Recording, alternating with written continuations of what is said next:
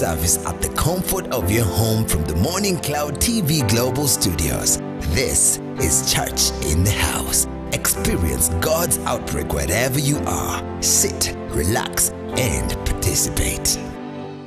He began ministry as a local prayer and church intercession team leader and later grew up to become an evangelist participating actively in rural crusades evangelism from the year 1993. He later became a local church pastor in the year 1996 and was commissioned into independent ministry by the year 2000. Since then, he has served in many different capacities in God's kingdom. He is a husband, father, author of many spiritual reformatory books, a teacher of God's word, God's kingdom media personality, a resident pastor and spiritual authority to many warriors of righteousness that are across the nations.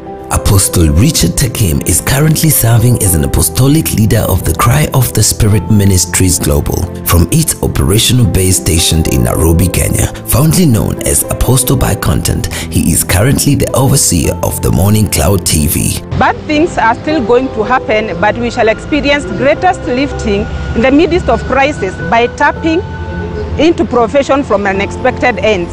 It's a very special book brought to us titled Provisions from Unexpected Ends. It's a book that will strengthen you to run against the troops and leap over the walls. It is what you know that determines how you run. The righteous are redeemed by knowledge. If you are only praying without knowledge, you will be knocked down in the day of temptation because your spirit ain't fortified with knowledge. Provisions from Unexpected Ends is an amazing book. When you sit with this book, Provisions from Unexpected Ends, you are actually schooling in the Spirit. And now we introduce to you the latest book from God's Kingdom Scribe, a spiritual father, Apostle Richard E. S. Takim. This book will show you how to tap into the very word of God and pull down the needed peace, joy, abundance, and the very provision we need in the midst of a crisis. Get your copy today.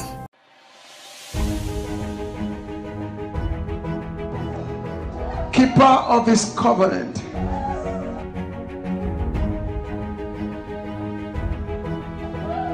You sent this scroll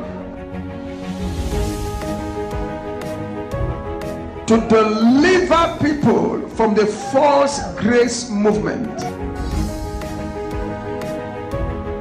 You said to me that I should dig the well of revival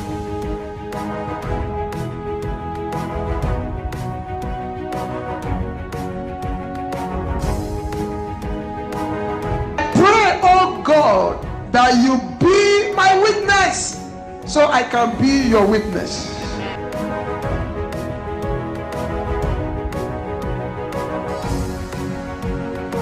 Whoever will read this will catch the revival fire, will be delivered from the false grace movement.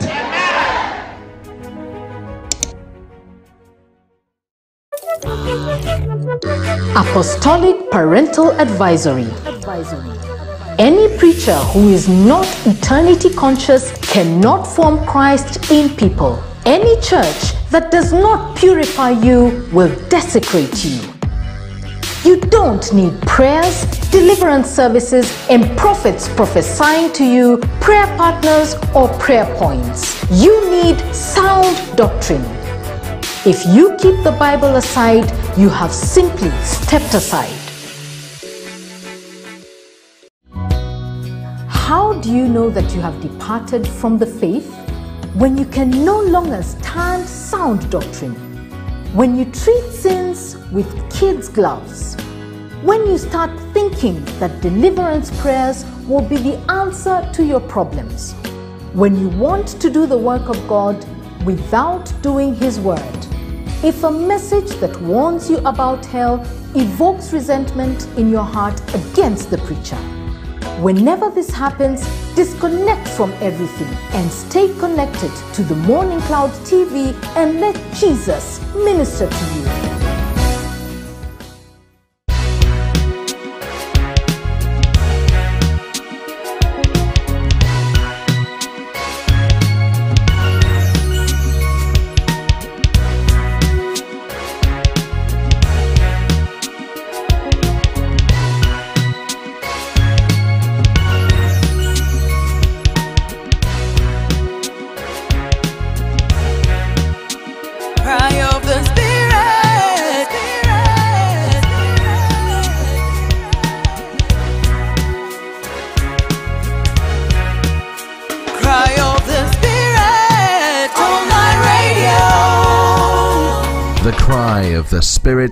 Online Radio, invading darkness with the voice of the Lord.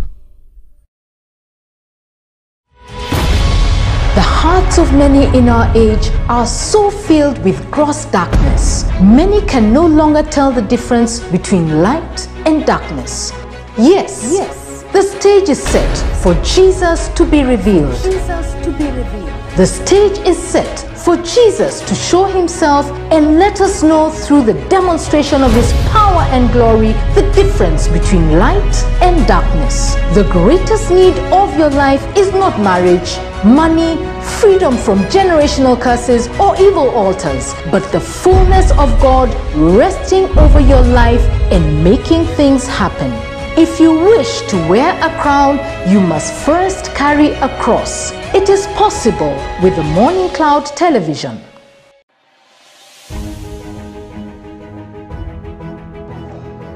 Keeper of his covenant.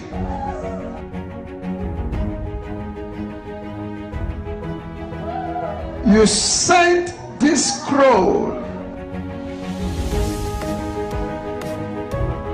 to deliver people from the false grace movement. You said to me that I should dig the well of revival.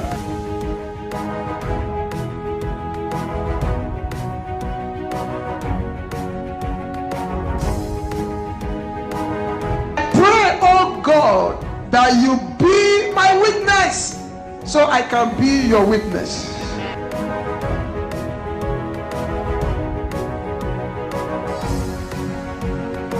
Whoever will read this will catch the revival fire, will be delivered from the false grace movement.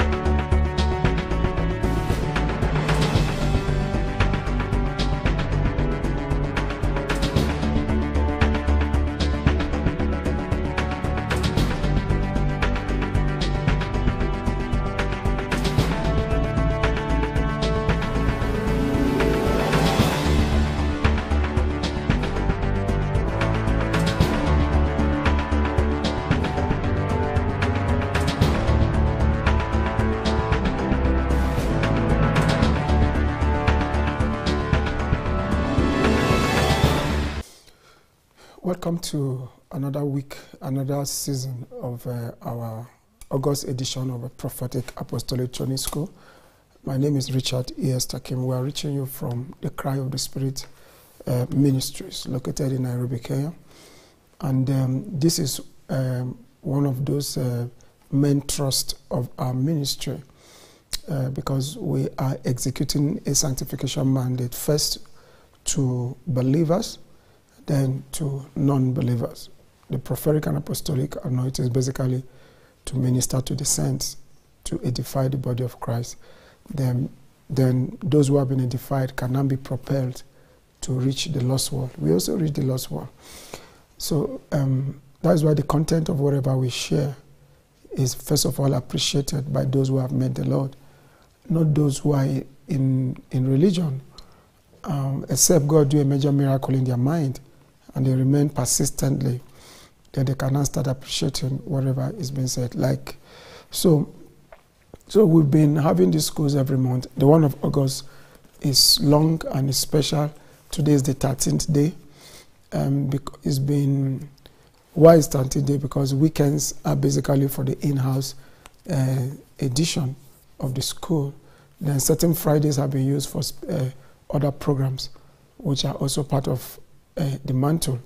So, but um, the school itself that runs on television has been for 13 days. And in case you are joining us for the first time, you've missed 12 editions. But I want to encourage you to go to our YouTube channel present truth for present times, to pick those uh, editions, just watch them so that you catch up. That will be not now, that is, that is after. But for today, just participate because we are beginning a fresh um, season today. It's been a school of miracles, signs, and wonders. So we've seen miracles, we've seen signs. Uh, but there are certain teachings about signs I couldn't bring. There are certain, certain signs in scriptures, things like signs of a divine call, signs of, uh, of the, the baptism of the Holy Spirit. Uh, those are signs that we are to walk in. Then signs of what is God's will and what is not God's will. And uh, then signs of uh, appointed time. Then we also have the apostolic signs. So we, we have all those signs which, if we are to dwell on signs alone, maybe we'll keep talking until maybe we get to the end of the year. So, but the few we have learned I just picked uh, four basic the signs of Moses, then the signs of the Messiah. Sorry, three the signs of Moses, signs of Messiah, and the signs of the believer. Those are the three that we've seen. And, but there are others, like I've mentioned, and uh, even signs of uh, who is your spouse, marital signs. Uh, uh, maybe in the days to come, we'll share those ones. What are the signs that the Spirit of God will always drop in your spirit? that this is your wife or this is your husband. Those are signs that believers need to walk in. So we, also there are signs that comes in form of dream language. They come in form of dream language. They come in form of visionary state. So, so those signs we didn't go into them. So talking about signs is a whole lot. Is a whole lot. It is almost inexhaustible because signs are more of the manifestations that happen in God's kingdom than other things. Sometimes there could not be a miracle, but there will be a sign. And um, even like I remember somebody um, sending me a message that tuning to the morning cloud to her as of when she tuned was a sign. Uh, so, so any, any uh, we, we, we classify those ones miscellaneous signs, signs that you cannot put in categories, miscellaneous. God could use anything as a sign to you. He could speak to you in anything as a sign. You could, you could be traveling and uh, a sign will just come if the journey will be good or the journey will be bad. So we have all kinds of signs. We also have natural signs that are attached to our bodies. Uh, so, so those are when it comes to signs, uh, we have a whole lot, a lot of it. In the medical field, they call it symptoms. You know, a sign is a pointer of a big reality. Remember, those are the things we see. Signs are always pointers of something bigger. That's that signs are common in God's kingdom. Yes, so this week we want to look at wonders. And uh, we're beginning today on this uh, set of truth on um, matters of wonders. I've come to realize that if we don't understand the language of signs, we'll miss our visitation, we'll miss our blessings, we'll miss things that have to do with our destiny. Majority of things that have to do with our destiny, they come in format that we don't like in terms of um, likeness, sent sentiment. Uh, you will not be sentimentally attached, but you could be spiritually attached to it. The later sentiments could develop, but but sometimes you don't like, but you know this is what you need. Uh, this, your, if you have the Holy Spirit in you, you know this, the Spirit of God within you will let you understand that this is what you need. So it is the Holy Spirit within us that actually help us to understand the language of science. So if you don't have the Holy Spirit within you, you can never walk in science. You can never understand the language of science. So, but there are certain signs that through teaching you understand. Like the signs of Messiah, the signs of Moses, the signs of a believer. Through teaching you understand those signs. But there are certain signs that you don't you don't need teaching to understand. There are not signs that you need a teaching to understand. There are signs that you need the teacher himself, which is the Holy Spirit, the Spirit of truth, living in you. Like I said, there are signs that you need teachings to understand their language. There are signs that you need the teacher to understand the language. So if you are face to face with a sign that need teaching and there's no teachings, you, you'll be lost. The sign will never fulfill its intention let, let's say it's a sign to save you from death, you will just die premature. Or a sign to save you from taking a bad decision, you will take the decision and, and it's going to destroy you. So, because there's no teaching, you may have the teacher within you. There are certain truths in God's kingdom that God delegates to apostles and prophets to teach. Pastors will never know them. Evangelists will never know them. Uh, teachers will ne- teachers themselves will never even know. You get my point? But that, that's why if you meet any teacher in God's kingdom, they, they don't teach deep truths. They, they teach things like Sunday school level. They teach, but they don't teach deep truth. When you meet somebody who teaches deep truth, you have met somebody who has the apostolic mantle. Because it is the apostles and, and prophets that are called of God to unearth the deep things of God and bring them out to us. And the, the essence of the deep things of God is to take off lawlessness. Because when you have the deep things of God, you will not operate in lawlessness. So when you are in shallow waters, you are in the realm of I don't care, a realm of ignorance. So you do certain things. In fact, you'll be controlled by what is good to you. When, if you are in the shallow waters, you'll be controlled by what is good to you. And it's very dangerous to be controlled by what is good to you. Eve was controlled by what was good to her, and look at where we are today. She lost the garden.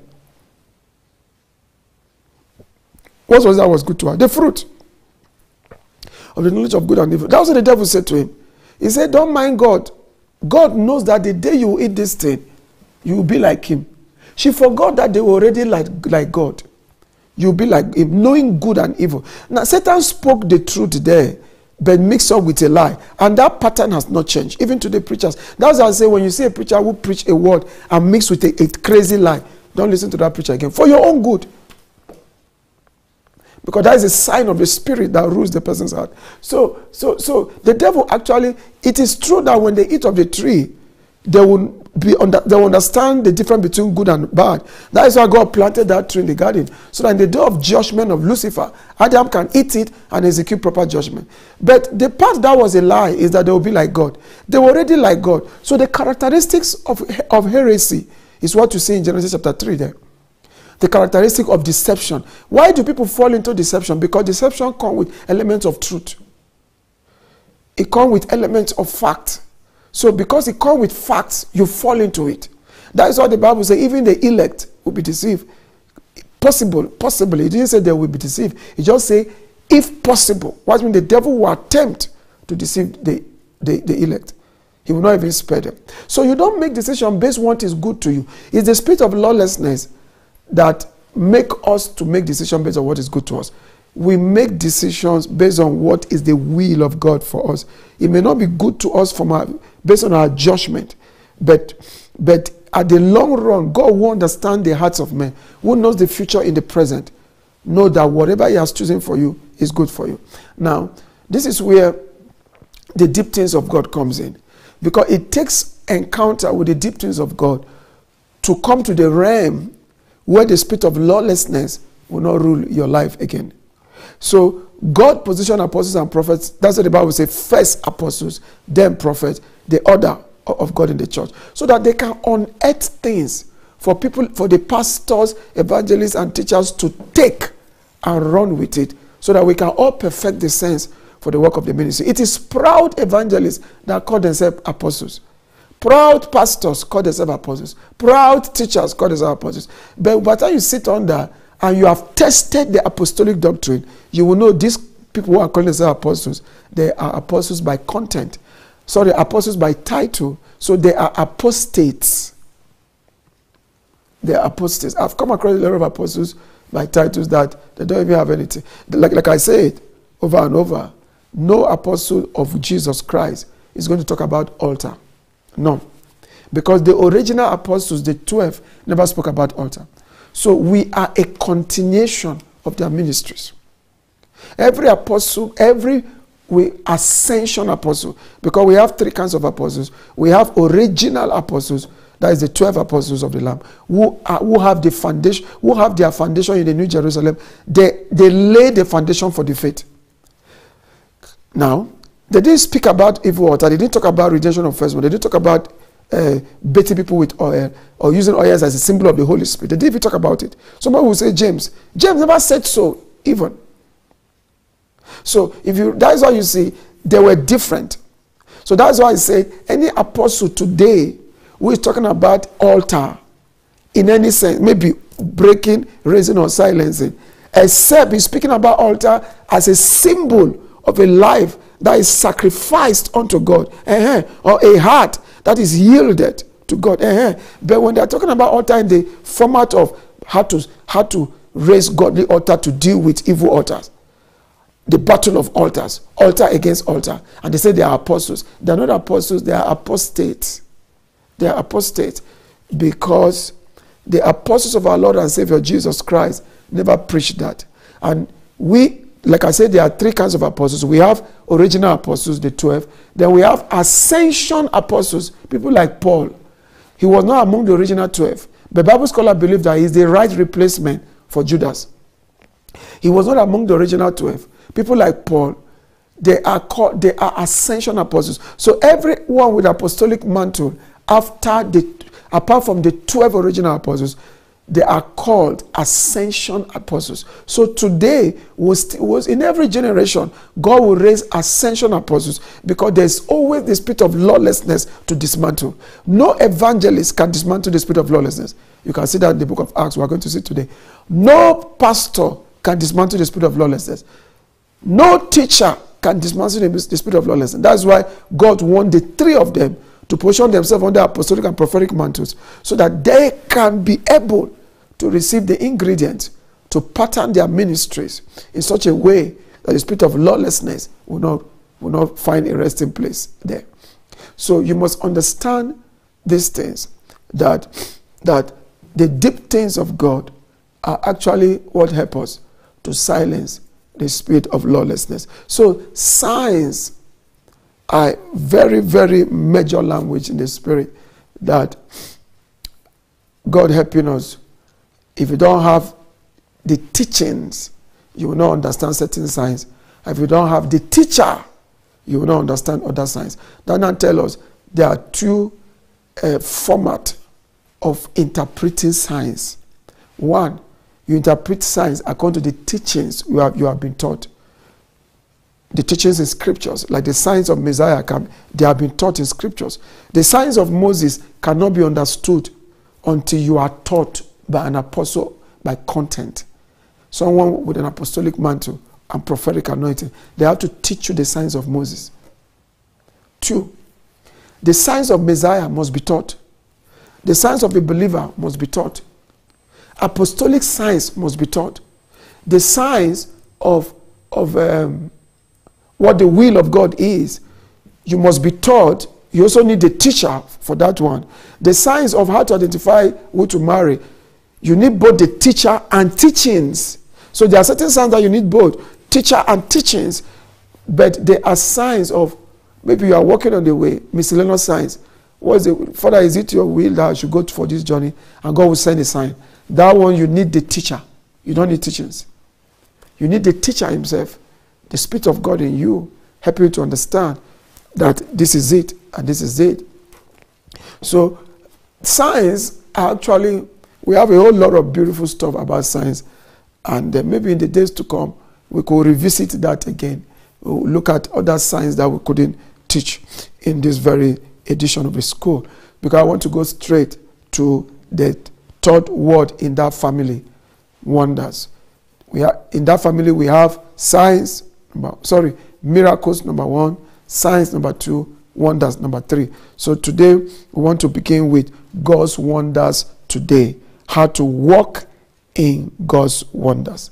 How to walk in God's wonders is what we'll be looking at today. And uh, I pray that the Holy Spirit will speak to our hearts in the name of Jesus. Father, I thank you for the mercy you have given us to be called children of God. You shed your blood on the cross. You died and you declared that the enmity between us and you is taken away. And you said, Your word, blessed is he whom you cause to approach you. Cause us to approach you again tonight. Pull us with your word, with your spirit. Teach us. Take away veils from our hearts. Bring us to the place of being highly inflammable in your spirit in this perverse and wicked generation. Pull down the structures of darkness from our lives, from the root, uproot it in the name of Jesus. I pray, oh God, that your presence permeate every home right now. Your presence permeate every home. Your presence permeate every heart. Your presence permeate every home. In the name of Jesus. Blessed be your holy name. In Jesus' name we pray. Amen and amen. Now, let me begin with what I will consider as our a text, maybe for today alone. I, I use this text in writing uh, this this uh, where is the book? In writing this book, the book uh, overcoming witchcraft. That's the text I use. Overcoming witchcraft by the greatness of God's power. The greatness. You don't overcome witchcraft by pouring oil, pouring salt, um, carrying water and sprinkling. You are also practicing witchcraft. Actually, you don't use charismatic witchcraft to deal with black witchcraft. People who use water, salt, oil to deal with witchcraft issues are actually using charismatic witchcraft to deal with black witchcraft. And Jesus said, Satan cannot cast out Satan. That's why you see there have been no solution to people's problems. We wrote this book to show people the apostolic way, which is in the Bible, the Christ way of dismantling witchcraft. That's why we say overcoming witchcraft by the greatness of God's power. So not by pouring oil, pouring water, pouring salt, and uh, and all of that stuff. You see, this one of the smallest forces to deal with in the terrestrial plane is witchcraft. If you if you understand the secrets in this book, you'll be able to dismantle it simply, simply. You don't need to go and engage any this thing. So the, the, I, the, that's the scripture I want to write now. The scripture that I stood on to write this book. Psalm 66, verse 3. It says, Say to God, How awesome are your works. You see his wonders. Say to God, How awesome are your works. Through the greatness of your power, your enemies shall submit themselves to you. So, most wonders are product of the manifestation of the great power of God. When the power of God is made manifest in its greatness, it produces wonders. And those wonders could come in the format of miracles or signs. But they produce wonders. The issue is that every miracle produces a wonder. Every most signs produce wonders. Okay, let me use the word most. Most miracles produce wonders. Most signs produce wonders. So, but there can also be a wonder. Whenever the power of God manifests in, in a great way, whenever the power of God manifests in its greatness, then we see a wonder. So that's why we're looking at the wonders of God because there are different wonders. But we want to learn how to walk in God's own wonders, in the wonders of God. That's what I want to look at.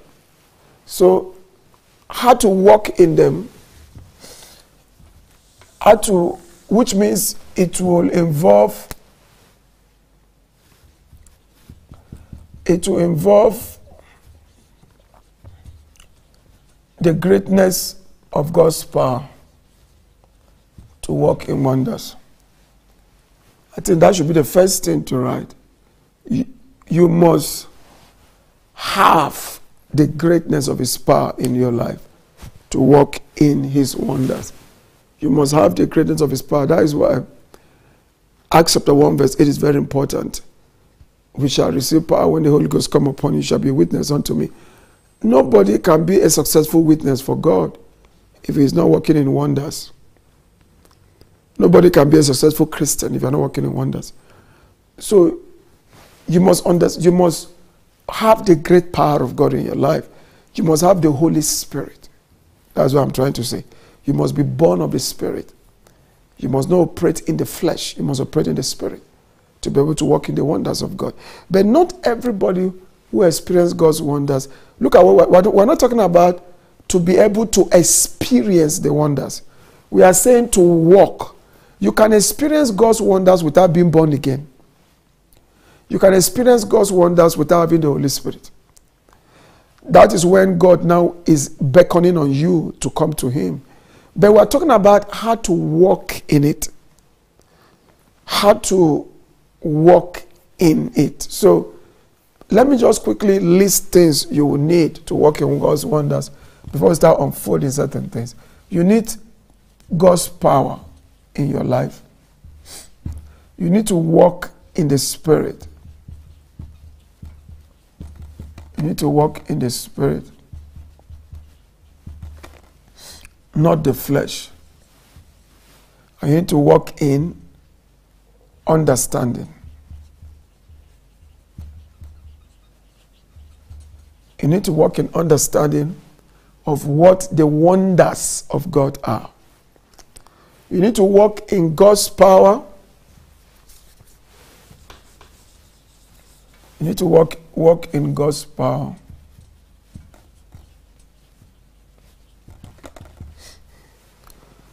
You need to walk in the Spirit of God, not in the flesh. And you need to walk in understanding. Now, all these things will require the Bible, will require a whole lot of stuff because we require faith, a whole lot of stuff. To walk in, in wonders, you need God's power in your life. Psalm 66 says, How great, look at that word again, verse 3. How awesome are your works through the greatness of your power, your enemies shall submit themselves to you. So when the enemies submit themselves, it's a wonder. That alone is a wonder.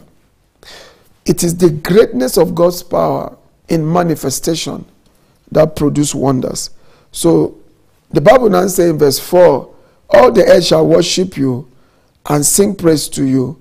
They shall sing praise to your name, Selah the, the ultimate purpose of God's wonders is to promote the worship, promote his worship on earth.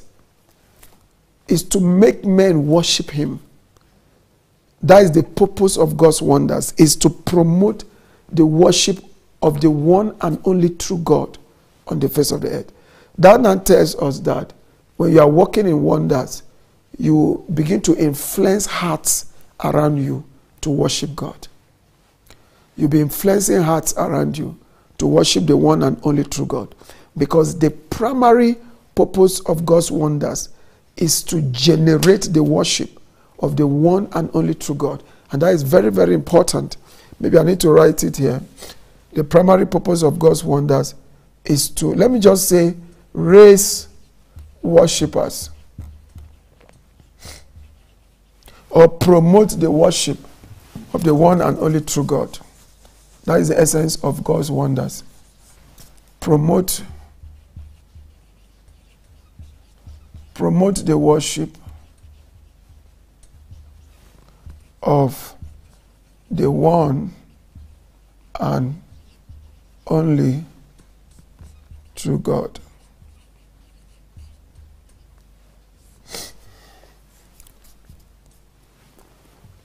That is the ultimate purpose of God's wonders. How to walk in the wonders of God. That is the ultimate purpose of the wonders of God. It is to promote the worship of the one and only true God. Look at what Jesus said in John chapter 17. He said, This is eternal life, that they may know you, the only true God, and Jesus Christ, whom you have sent. So, the manifestation of the wonders of God is to make men know him as the only true God and Jesus Christ whom he have sent. There was a testimony which maybe I've shared on this before, maybe during lockdown. I, don't, I remember. I shared this testimony before. I read a story of what happened in a particular village in Afghanistan. And they said the only part of Afghanistan that is Christian, that you find Christians. The reason for that is because of what I want to share. So I read that there was a Christian in Afghan who just a little family i think they, they got their christianity from outside afghan and a little settlement. A, i won't call it a village it's like a hamlet. And those people were practicing christianity but the rest of the environment was practicing islam. And, and in that period there were there were invaders so they, they were surviving by the sword so this little hamlet was uh, targeted to be invaded and destroyed completely. So the leader of the invasion sent a message to the head of the hamlet and said, We are coming so so day. And if you people don't drop this uh, infidel something that you call Christianity, we're going to kill all of you. The only thing that will make me to believe you people that you are serving God. Didn't your, didn't your Bible say, if you can say to this mountain, be uprooted and be cast into the sea, that is going to happen? So we're going to come and we're going to show you a mountain. If you don't pray that that mountain be uprooted and cast into the sea, we'll kill all of you. But if you pray, we're going to repent and start serving your Jesus. So when they said so, then this Hamlet sent a message to a believer somewhere, maybe outside of Ghana or so, who is very serious with God. It wasn't a pastor. Let me tell you how serious he was with God. Because there was nobody to explain the Bible to him. He was just reading the Bible literally. So if he stumbled into a place in the Bible where Jesus spoke about hell, and Jesus said, and, and the guy was a shoemaker. So Jesus said in that place, if your hand will cause you to go to hell, cut it off. It's better you go to hell without a hand than to enter hell. Sorry, it's better to go to heaven without a hand than to go to hell with two hands. And that referred to relationship. If there's a relationship in your life that will cause you to go to hell, the Bible says you should cut it off. That it's better to go to heaven maimed without that relationship than to lose than to have the relationship and, and go to hell. So, the Bible also spoke about the eye. If your eye will cause you to go to hell, plug it off. It's also talking about discipline, what we see.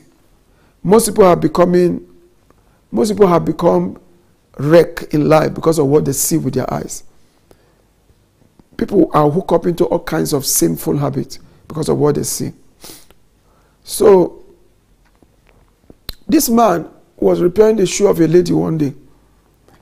And when he was trying to, he finished repairing, he now asked the lady to test it. So he knelt down, you know, a cobbler, that is a, a shoemaker.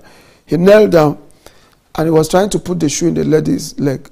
So while he was doing so, he, he wanted to, he turned to like tell the lady, put your leg now. He now saw her unders. Because you're wearing a skirt, he saw her under. So the man now, at the end of uh, attend to the lady, he now went and said, Ah, yeah, I've sinned against God. The Bible says, if your eye will cause you. So he took a knife and actually plucked his eyes and blinded his, himself. And he kept living like that. You see why we need teachers of the word, people to teach us the Bible. The letter kills, but the spirit gives life. But God, in terms of ignorance, because in fact, he did that.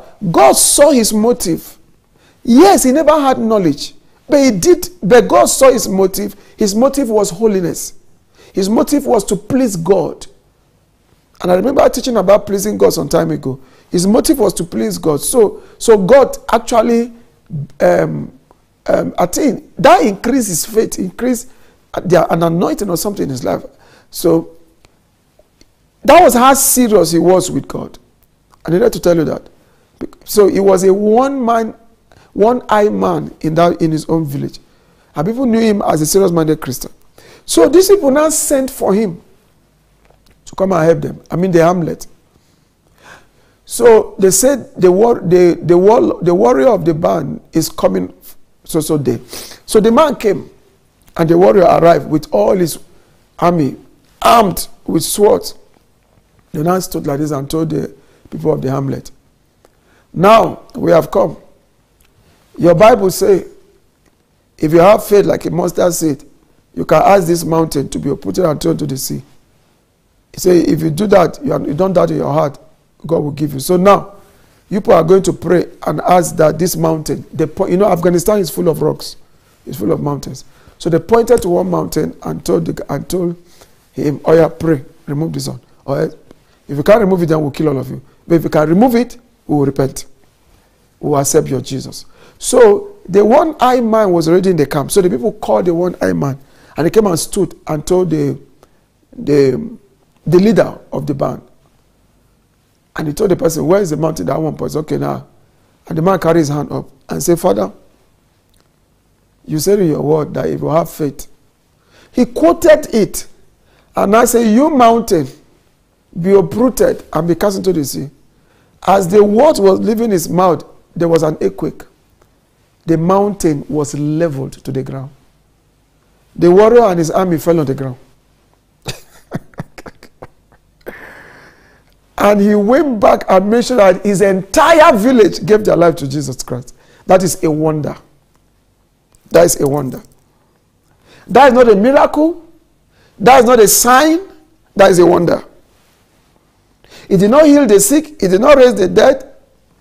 He just manifested the greatness of God's power. That is a wonder. It's so sad that in our generation, Christianity has died. We are full of noise. So we have we are we are comforting ourselves with bottles of oil, salt, candle, all these witchcraft things. There is no genuine power of God. Somebody made a statement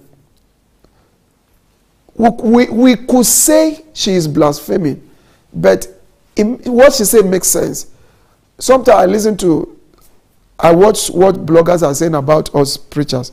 Since the day God spoke to me that they are a threshing floor, I begin to watch them. So there was this blogger I was watching. I think she, she's in Canada. Also, I don't, I don't know. I think she has even featured a video about me one time. So she was raising an issue that happened in Nigeria and she, she was talking about the death of um, that gospel singer Osinachi. She was saying that her pastor said that Osinachi was sick in the hospital. He went to pray for her. After, uh, while he was going for a crusade, that when he got to the crusade, cripples walk, blind saw. But his own, that's what the woman was saying, that his own spiritual daughter who had been serving him still died after his prayer. So the woman now says she's questioning the kind of power of God that that pastor has. That's what she said. Well, we will not feel happy as, as a pastor, you will not be happy that they are attacking us. but it pains me anyway, her statement. But I also went back and started thinking, I said, this is true. And I put myself, I said, God, help me let me not, let me, let people under me be experiencing you. Not that we go to Sokoto, go to that place and we're able to make cripples work. Of course, you begin to question what kind of power. I know people who are in the supernatural can tell you the anointing in the crusade is different from the anointing in the church. Uh -uh, listen, it's not the same Jesus. What did the Bible say? Thou shalt serve the Lord your God. He will bless your bread and bless your water and take sickness away from the midst of you. So we believers should live in divine health while we distribute divine, um, we, we distribute miracles. We live in divine health while we distribute miracles to the unbeliever. That is God's plan. We may not have achieved it, but that is the plan of God. That's the plan of God. So you begin to see that we in the church today, we don't really have power. Power has disappeared from the body of Christ. So we, we console ourselves with oil, console ourselves with salt, with water, with mantle, with sand. Yes, people see miracles, but they are no wonders. Those wonders that our Father, like commanding, him, like what I just told you, an entire mountain was leveled so that the worship of the one and only true God could be promoted. Now you cannot see why A lot of believers are worshiping different gods. Some worship the God of gold, some worship the God of fortress. All kinds of gods that we are worshiping because there are no wonders again to show us, to demonstrate the one and only true God. Now, the reason why we need to be careful about matters of wonders, okay, okay, we'll, we'll, we'll get into that. I'm just laying foundation into, into what I want to teach. I've not started what I want to teach anyway. So, you should understand that the primary purpose of wonders is to promote the worship of the one and only true God. That is the purpose of wonders. If we do not understand that, they will not be able to effectively win even our own relatives. Those our die-hard relatives who hate our Jesus, through wonders, they will come to love our Jesus. If God demonstrate one of his wonders in the life of your family, all of them will just repent. To. I mean, especially by your hand. The essence of the wonders of God is to promote the worship of the one and only true God. There can be no worship of the one and only true God where he is vehemently resisted except wonders are demonstrated. Let me share testimony about my spiritual father. He, there were, he was pastoring a smaller church. I think this happened in the late 70s or early 80s. He was pastoring a smaller church, what he told us. A smaller branch of the Essence of God Church somewhere in the northern part of Nigeria. And there were these mountains where people were living in that part of Nigeria where civilization have not even reached, reached them. So as a result, they were feeding on human beings. Late 70s. Missionaries have tried to go there, they will kill them and eat them, then bury their bones. So God now met him and said he should go. So he spent 40 days and 40 nights in prayer. Not that, I'm not saying he fasted 40 and 40 nights. No, I say he spent. So there was fasting. There was also resting in the process. So at the end of the day, he got up, a young man, not even married then, and he carried his Bible to that place. He said to us that when he was walking, he was walking and praying in the spirit, and he got to that place because the villages are on the mountain. So as soon as they saw a figure coming, they all came out and started rejoicing that their gods have brought meat again for them. So, because ordinarily they use poisonous arrows. So they now took a poisonous arrow and stretched it towards him. He stood and lifted up the Bible up and was praying the Spirit. And they shoot the arrow. The arrow came straight. Listen, this is not a movie. Oh. The man that this thing happened to was my is my spiritual father. I have I have met him. So, okay, of course, your spiritual father must have met him, stayed, we work together. So this is not a game. I'm not playing games. I'm telling you what I heard. The arrow hit him here in the chest and fell on the ground. The, he said when they struck the arrow that he felt supernatural being enter him. Of course, Christ in you, the hope of glory. So Jesus took residence on his inside, manifested immediately. Because if Christ had not manifested, the arrow will kill him. Manifested immediately, and that arrow hit his chest and fell on the ground. They shoot another one, hit it fell. So they were shooting, the arrows were falling. And the people dropped, they started coming down from the mountain.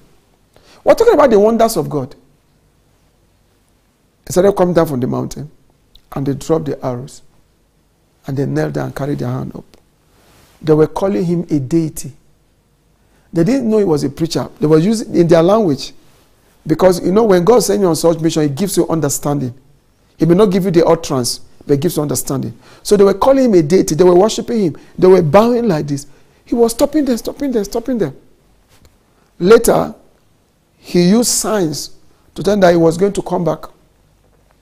So he came back home and gathered evangelists, people who understand that language, and they went back to that, to that community and they witnessed Christ to them and they planted church in that place. So they now got clothes for them to be wearing and all of that stuff, and they took them away from cannibalism to Christianity. Now, wait a minute. That kind of a mission does not require a powerful preacher. does not require Hebrew and Hebrew. You want to sit down and tell them the Greek meaning of this word, the way I do here in church, the, the Hebrew meaning. they will remove your head while you are telling them Greek meaning and Hebrew meaning. That's you, you, you get my point. That kind of place require the demonstration of the wonders of God. The wonders. It is they that know their God that shall, that will do that will carry out such great exploit. So it takes the demonstration of the wonders of God for the worship of the one and only true God to be promoted. Sadly speaking, when God performs certain wonders, people of his concern are blind to the wonders.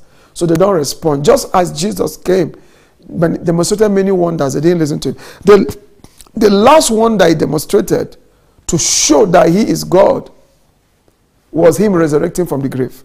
Because no man can die and resurrect himself and come out of the grave. Only God can come out of the grave. Resurrection itself is a wonder. Resurrection is a wonder. That is a wonder that authenticates Christianity. Resurrection. So, in case maybe this teachings, this series will be good for only those who are called to ministry and those uh, Christians who want to be effective Christians, not lazy people who are lying at ease in Zion. You can never win a hardened person except there is wonders.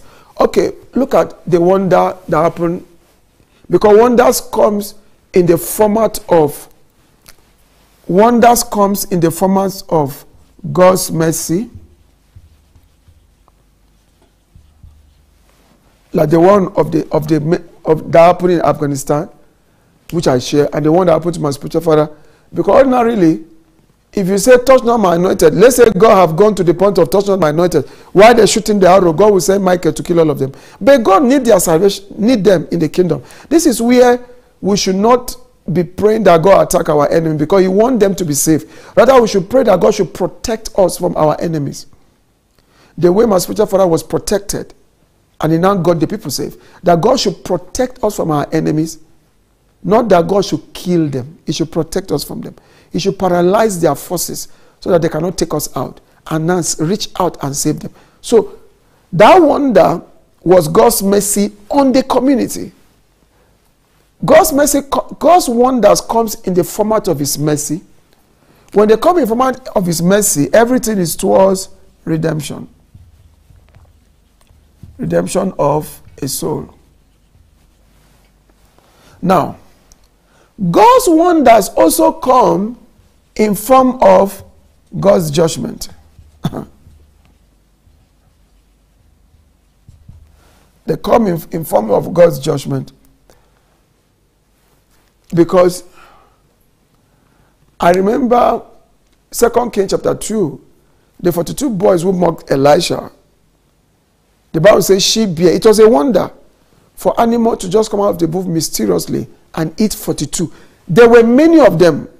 There were many of them who were, who were saying, Elijah, Elijah. There, but God saw there were many youth who were coming in a group. You see, in Israel, young men move in group.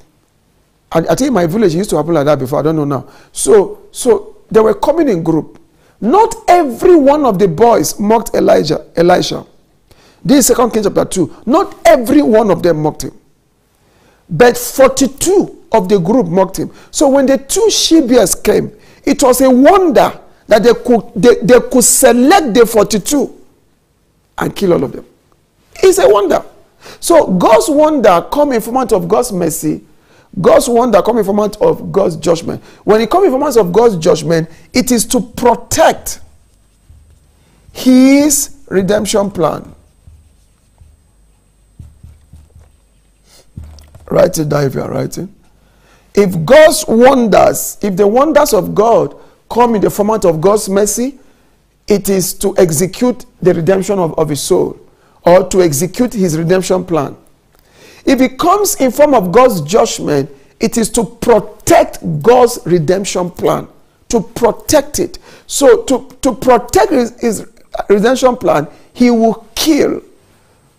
To execute his redemption plan, he will make alive. So we, that's what the Bible says. Our God kills and makes alive. Isaiah 45 say he create calamity and create peace. The same God. The same God. So when it comes in the format of mercy, it is to execute his redemption plan, which involves the redemption of souls. You get my point? Redemption of souls. Now, if it comes in the format of God's judgment, it is to protect his redemption plan. So, as God's mercy, it executes. As God's judgment, it protects his redemption plan. God will kill to make alive. That's the way you operate. Now, these dimensions of God, they are sovereign dimension. You don't initiate them on your own. They are sovereign. Even the one I Christian who went there, he went there by the arm of the Lord. Because if I tell you all the story, he told them he was coming. It was seven days. He was praying to seek the face of God. God now permitted him and he went. When he got there, the sovereign arm of the Lord took him over completely. The one of my spiritual father, don't go tomorrow and say you want to go and stand for somebody to shoot an arrow. They will kill you. He went there by the sovereign arm of God. By the sovereign arm of God to open up that place. So the wonders of God are product of his sovereignty. The wonders of God are products of his sovereignty. He overrules. He overrides he suspends, he neutralizes. It is through the wonders of God that God demonstrates to the whole human race that he is the owner of the earth. Do you know that the flood of Noah was, was a wonder of God? No devil can flood the whole earth, no matter how crazy he is. The flood of Noah was the flood of Noah was a wonder of God. The agenda was to protect God, God's redemption plan for mankind because wickedness was everywhere, ruining God's redemption plan. The Bible says even the angels God sent to go and warn them ended up sleeping with the women, and everything was scattered. The Bible says every imagination of a man's house was wicked, and God saw that his redemption plan for the human race that started in the Garden of Eden was under intense jeopardy. It was in, in a mode of being eliminated completely, and God now decided to execute judgment to protect that redemption plan. He sent a worldwide flood. That was a wonder. That was a massive wonder of God. You won't call it a miracle. You won't call it a sign. The flood of Noah was a wonder. Hallelujah. That's why the people did not believe him. When Noah said that rain was going to fall and fill them, they didn't believe.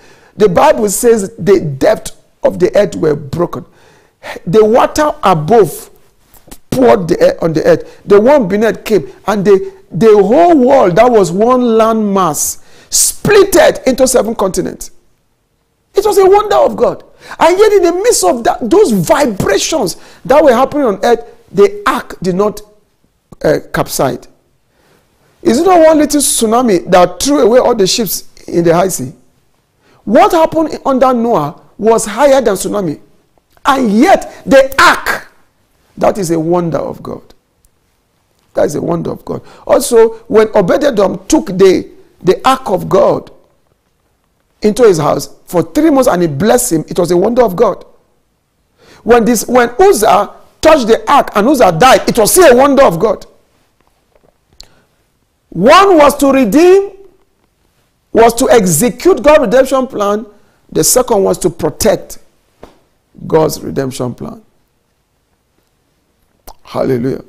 So these are the formats that God's wonders happen. The primary reason is to promote the worship of the one and only true God. Let's read Psalm 68. Let- You know, we are dwelling on Psalm 68. It said, All the earth shall worship you and sing praises to you. They shall sing praises to your name. Selah. Verse 5. Come and see the works of God. He is awesome or terrible in his doing towards the sons of men. Look, I had the scripture began to list his wonders. He turned the sea into dry land. That was a wonder of God.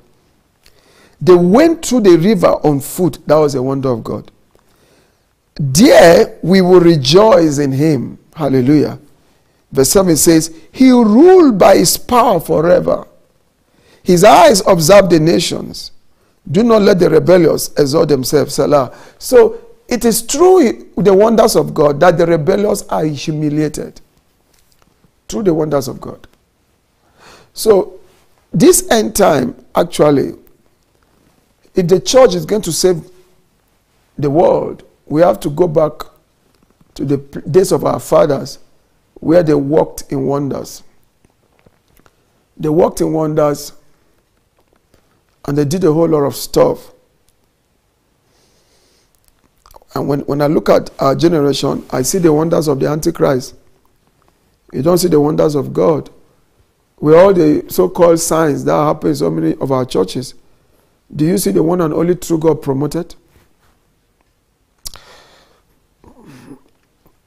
So, with what I've shared with us, let's not go into the things we must know to walk in the wonders of God. We have listed three things. We say you need God's power. You need to walk in the spirit, not in the flesh, at all times. And you need understanding. Look at what the Bible says in the book of Proverbs, chapter 4.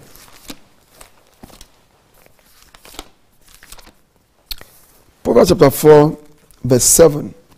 It says, Wisdom is the principal thing. Therefore, get wisdom. And in all your getting, get understanding. You know, knowledge is a source of wisdom. And knowledge and wisdom work together to give us understanding. Knowledge is what it is, wisdom is how to do it or how it is. While understanding is comprehending how it is. Knowledge is what it is, wisdom is how to apply what it is, understanding is under, comprehending what it is. That's what it is. Now, you need wisdom, or let's, you need understanding of what the wonders of God are to work in them. Do you know that to even come to the realm of the greatness of God's power, you need understanding also? To come to the realm of walking in the Spirit, you need understanding to walk in the Spirit. So, where there is no understanding, none of this is possible. That's what the Bible says. Wisdom is the principal thing. Therefore, get wisdom. And in all you're getting, in all your the price you are paying to get everything, is a get understanding. That means spend more to get understanding. Why? Because of Psalm 16. Psalm 16. Open your Bible to Psalm 16.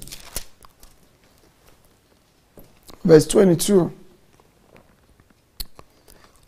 Psalm 16, verse 22. It says, Understanding is a wellspring of life to him who has it.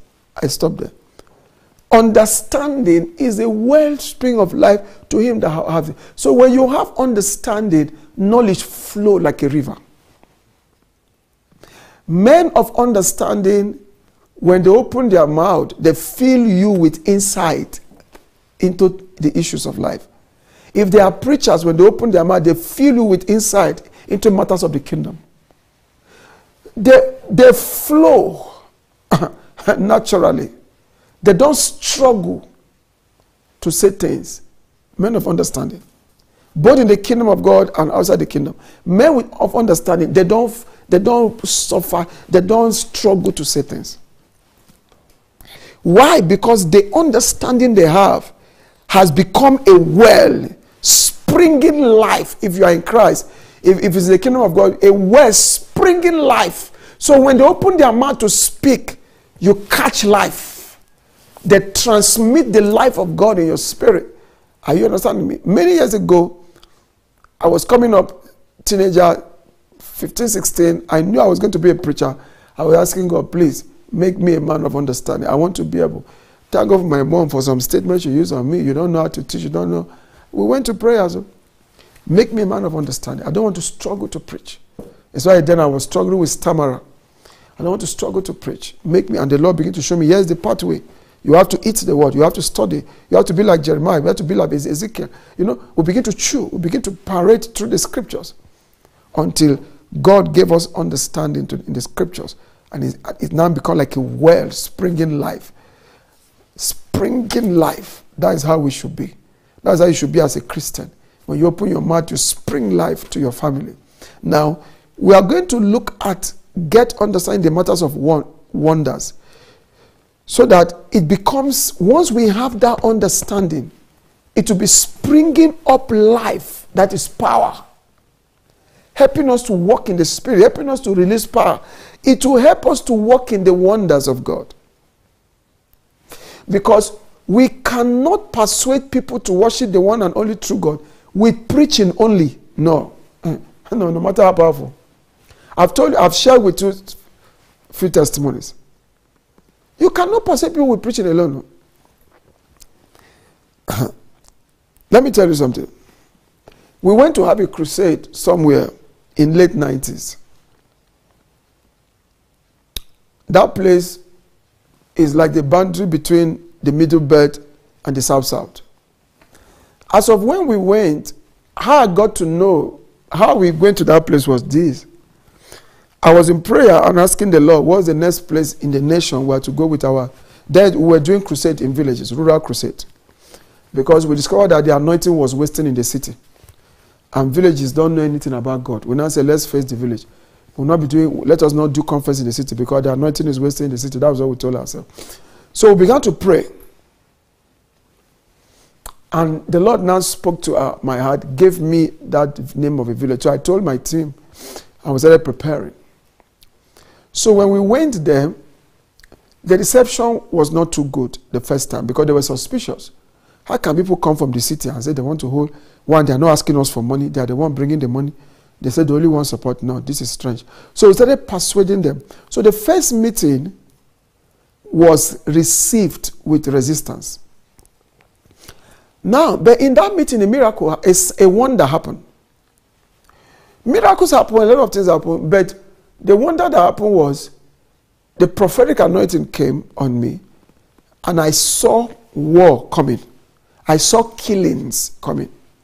And I prayed and I said, after everybody heard it, that there, there's going to be killings within the middle belt of Nigeria.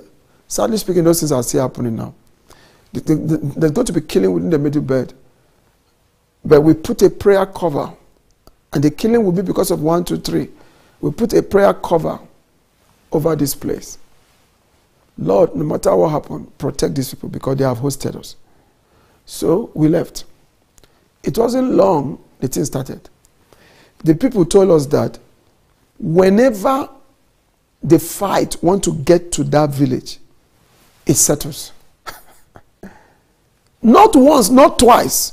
Whenever you want to get to that village, it just settle. Then me, I did not even understand Psalm 46 that said God cut the uh, the chariots, he burned the chariots. And I didn't understand that he make war to cease. I didn't even know that psalm in my life.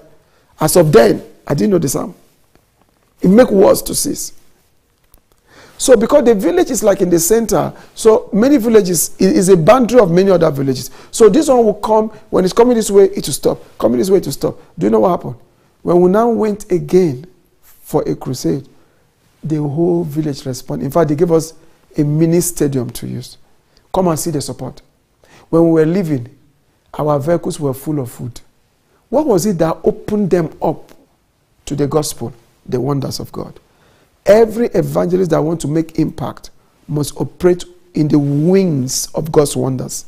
Miracles, signs, and wonders must be part of his ministry. Any church that want to really save men apart from holding sound doctrine, God must back you with his wonders. I look at the life of John the Baptist. He didn't perform miracle. There was no miracle in his ministry. Oh. People who say that it is through miracles that people come to your church. Well, it's not applicable in every case. If you look at John the Baptist, there was no miracle. But the Bible says the entire Israel went to him. What was it that moved them? Signs and wonders, no miracle. What's the sign? Water baptism. What's the wonder? People coming to him without miracles was a wonder. People coming to him without crowd pulling system was a wonder. He did not send Hambi, he did not send flyer, he did not force anybody. He was in the wilderness and they met him there. It's a wonder. God will use wonder to authenticate your calling if you are called of God. He will use wonders to stabilize your life, stabilize your marriage, stabilize your finances, stabilize your family. He will use he, he uses God uses wonders to bring stability. Look at the wonder of how uh, Haman in the Bible was pulled, was taken out. He moved against the Jew. And the people did what every, every child of God should learn how to do depend on God. They went to God in prayer. Esther was stirred up as she got up. Three days and three nights, she was seeking the face of God for help. And look at what happened finally.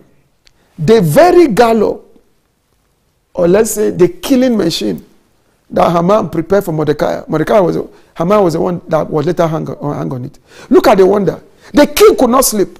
It was a wonder for the king not to sleep.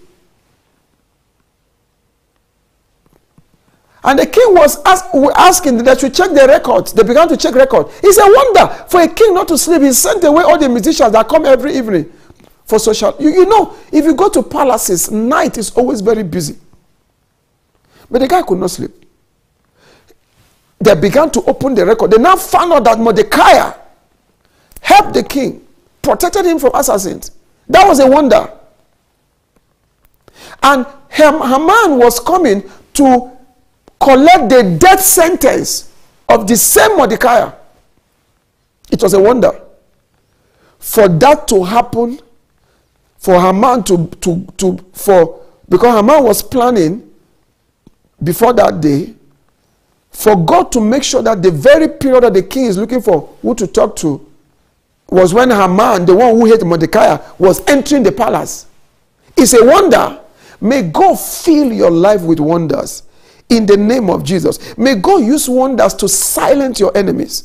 May God use wonders to shut down the mouth of those that are ruining your life and your destiny. May God use wonders to shut down the mouth of those that are ruining, ruining their life. Anyone so anyone surrounded by the messengers of wickedness, by those who are instrument of cruelty, may God unleash his wonders into your life and your family to protect you from the messengers of death in the name of Jesus Christ.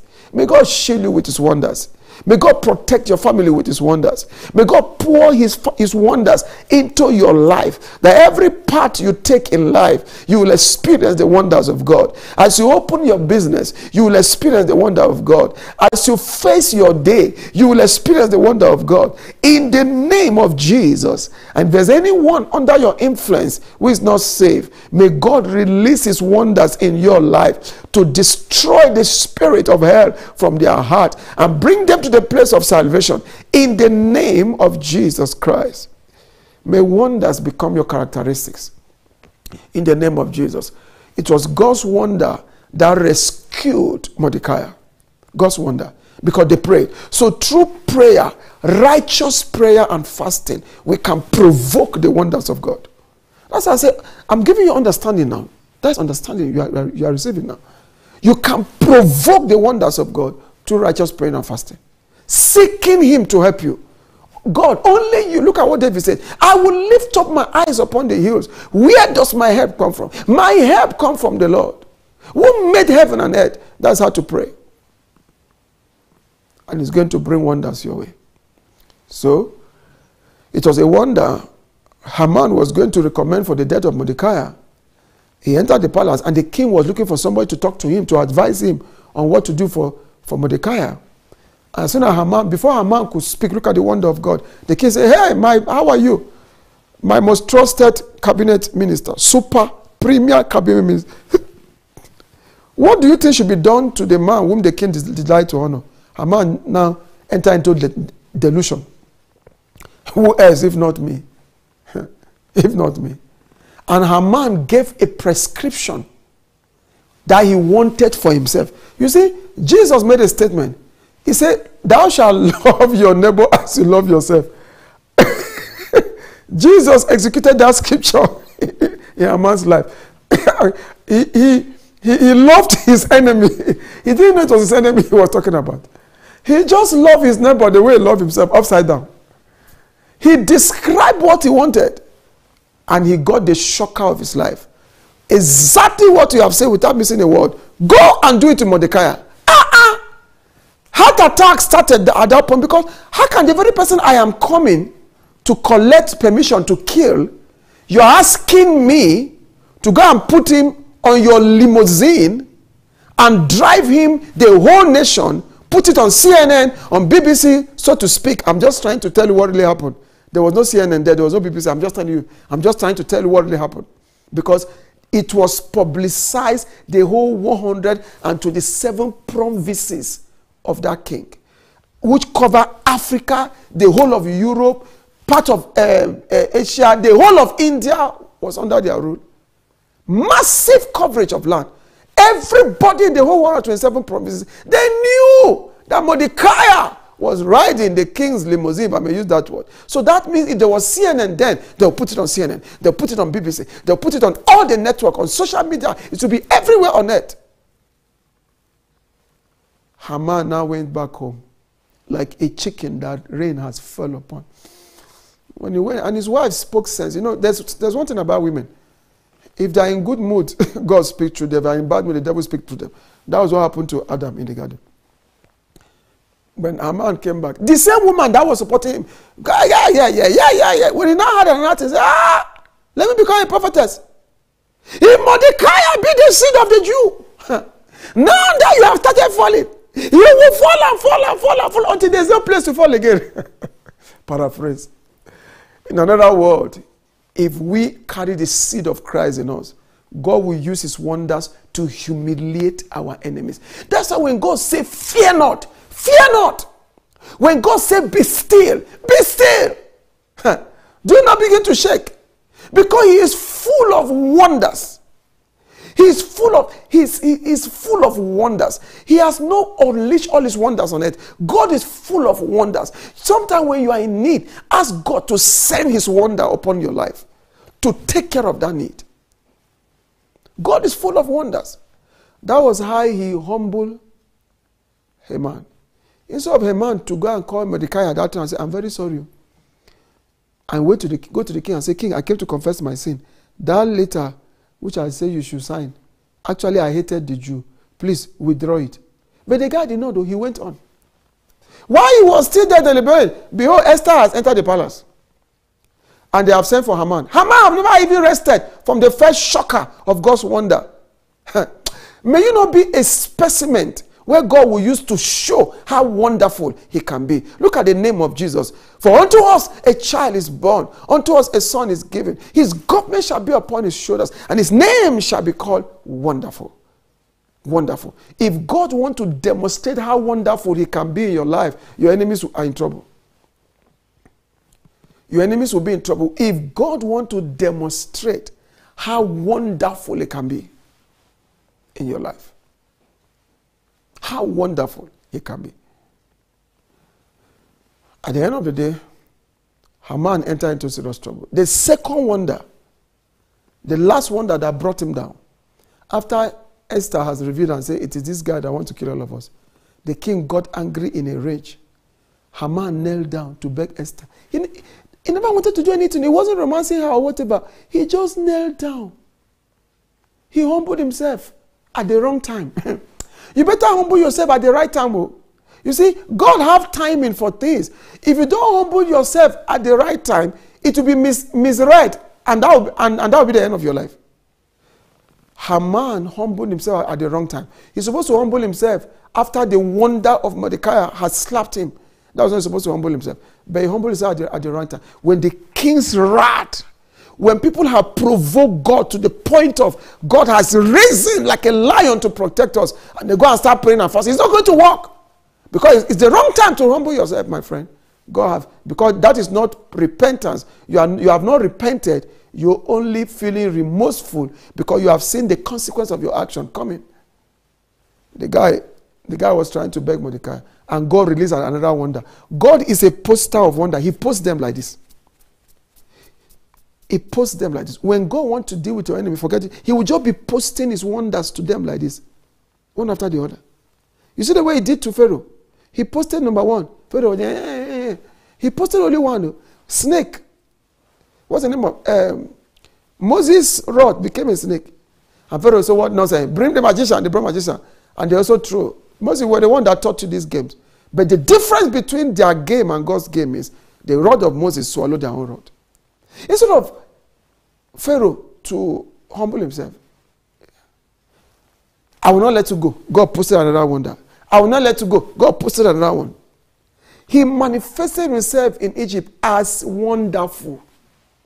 Wonderful. So he posted number one, number two, number three, number four. Pharaoh was still messing up. He posted till he got to number nine. And he told Moses, the number 10 that is coming, 10 is the number of harvest. So I am bringing number 10. Sorry, 9 is the number of harvest. After harvest, you move. I am bringing number 10. This one, his backbone will be broken because I will execute judgment on the gods of Egypt. Now prepare yourself. And they prepared themselves. And God posted number 10. And the gods of Egypt were smashed. The firstborn died. That was a wonder of God.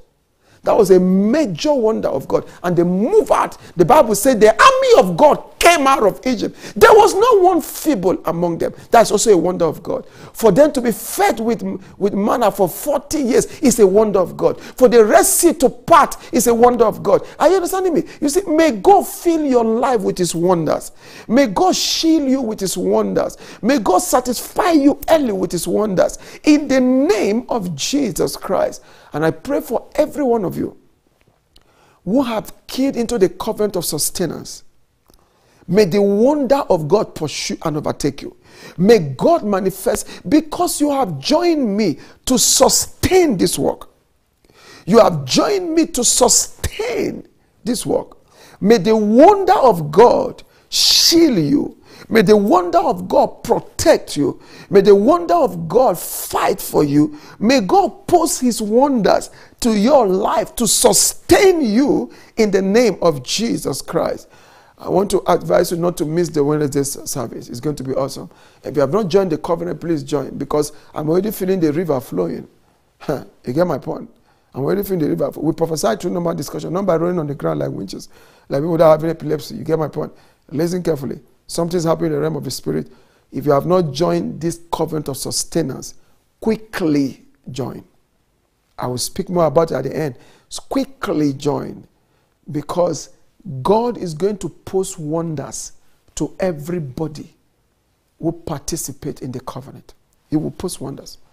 Because we are reaching the world, reaching the planet. So he will post his wonders. He will post his wonders to your life, He will post it in response to your sacrifice. Especially those of you that join me in the hundredfold, the one I say hundred thousand, which I say a thousand dollars, hundredfold, hundred thousand shilling, one thousand dollars. God will post His wonders to you in a hundredfold. And those who are in 50, 30, uh, 20, 10, and 5. Each, the Bible says, He that so sparingly will respond. He that so bountifully will reap bountifully. May God respond to your seed, your sacrifice. May God respond to your giving, your obedience with His wonders in the name of Jesus Christ. As He keep using this channel, this station, to do wonders in the lives of people, may your life not lack wonders. May your destiny not lack wonders. May your family not lack the wonders of God. As you have obeyed the Lord, may heaven empty itself upon your life with the wonders of God in the name of Jesus. Whenever you are overwhelmed and there's no one to help you, may God send his wonders your way. May God send his wonders your way. May God send his wonders your way to help you in the day of adversity. In the name of Jesus Christ. The Lord is going to satisfy us with his wonders. It's going to sustain. It takes wonders to sustain sustenance. The widow of Zarephath was a sustainer.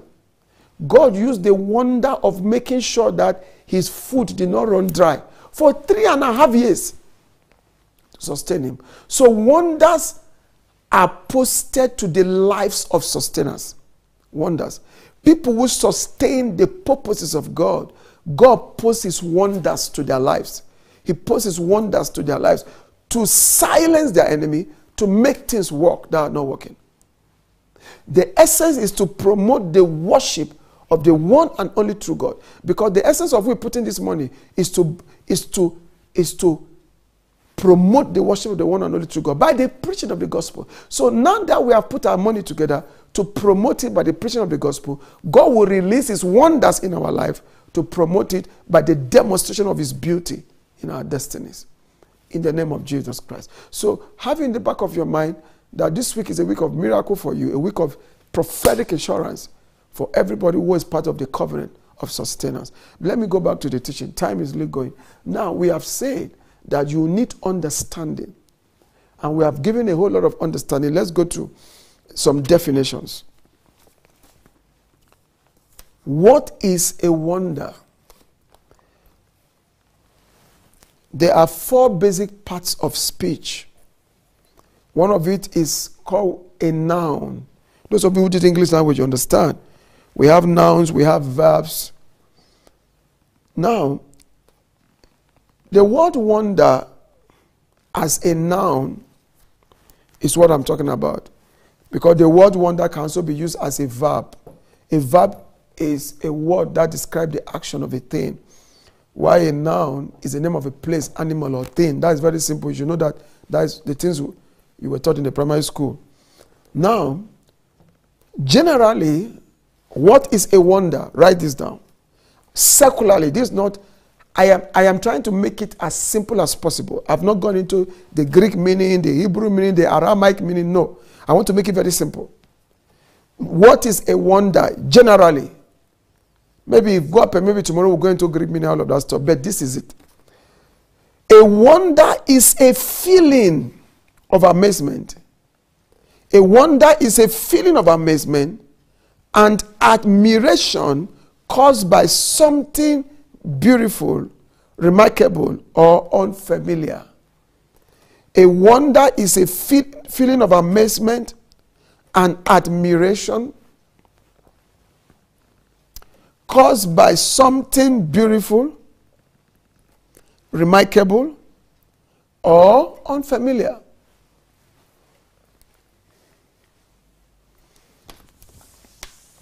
and write that on the board.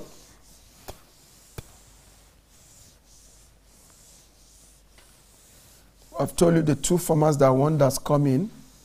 They come in the format of God's mercy and they come in the format of God's judgment. Let me write that here. As God's mercy, they execute his redemptive plan. as God's judgment.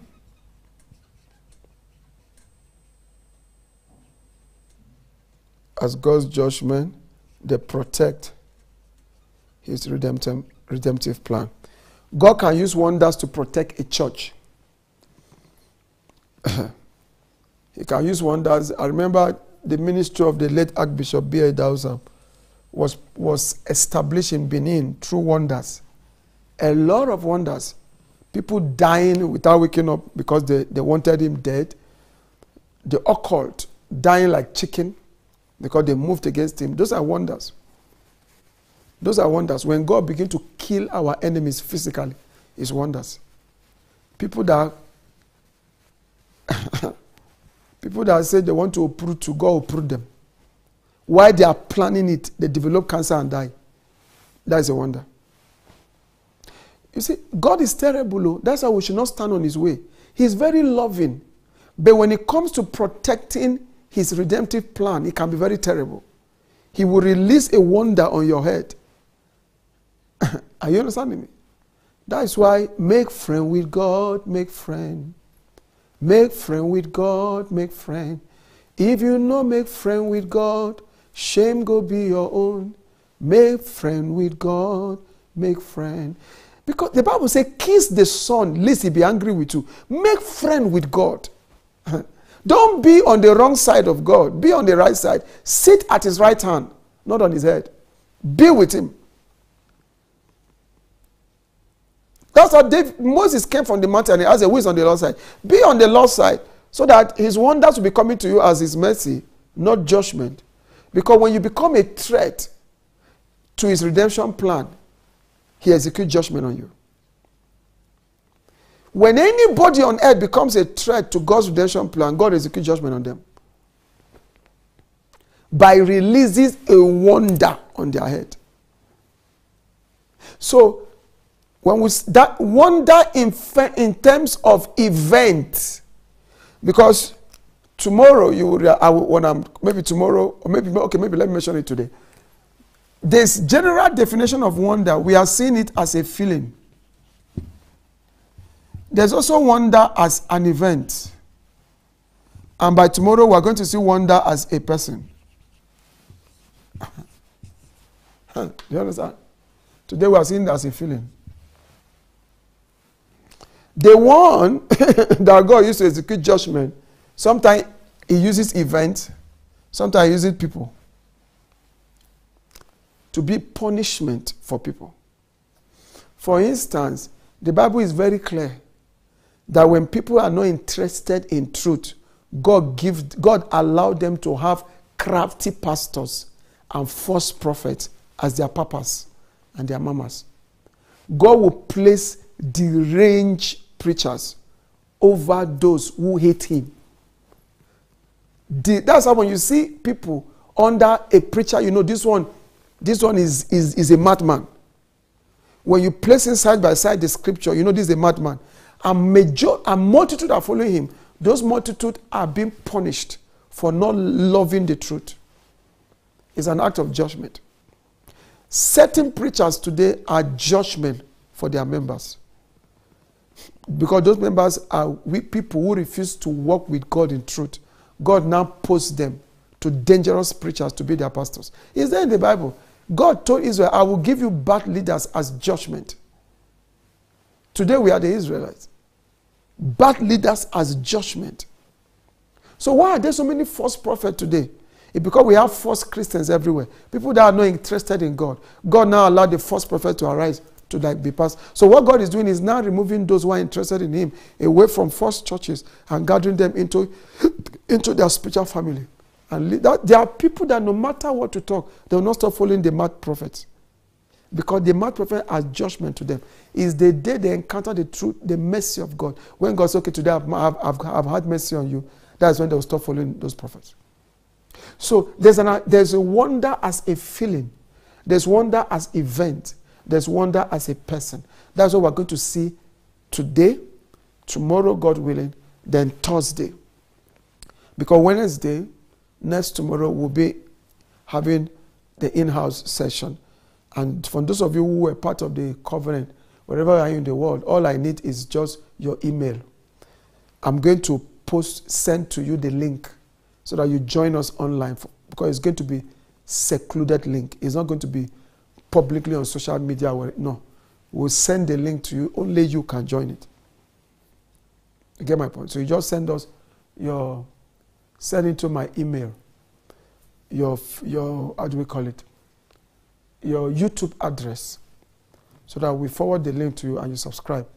I want to start forwarding the link maybe tomorrow or so. So if you can even get in touch me, to me on my phone, then I send the link to you of the special uh, channel I have opened for that. You just subscribe because it's going to broadcast only to the subscribers.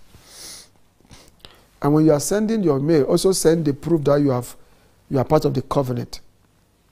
Uh, because it's only for covenant Those of are part of it. So, as a feeling, a wonder is a feeling of amazement and admiration caused by something beautiful, remarkable, or unfamiliar. I hope you've gotten it. A wonder is a feeling of amazement and admiration caused by something beautiful, remarkable, or unfamiliar.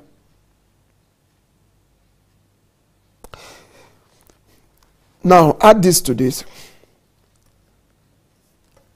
A wonder can be produced by the spirit of Antichrist or the spirit of Christ. A wonder can be produced either by the spirit of Christ or the spirit of the Antichrist.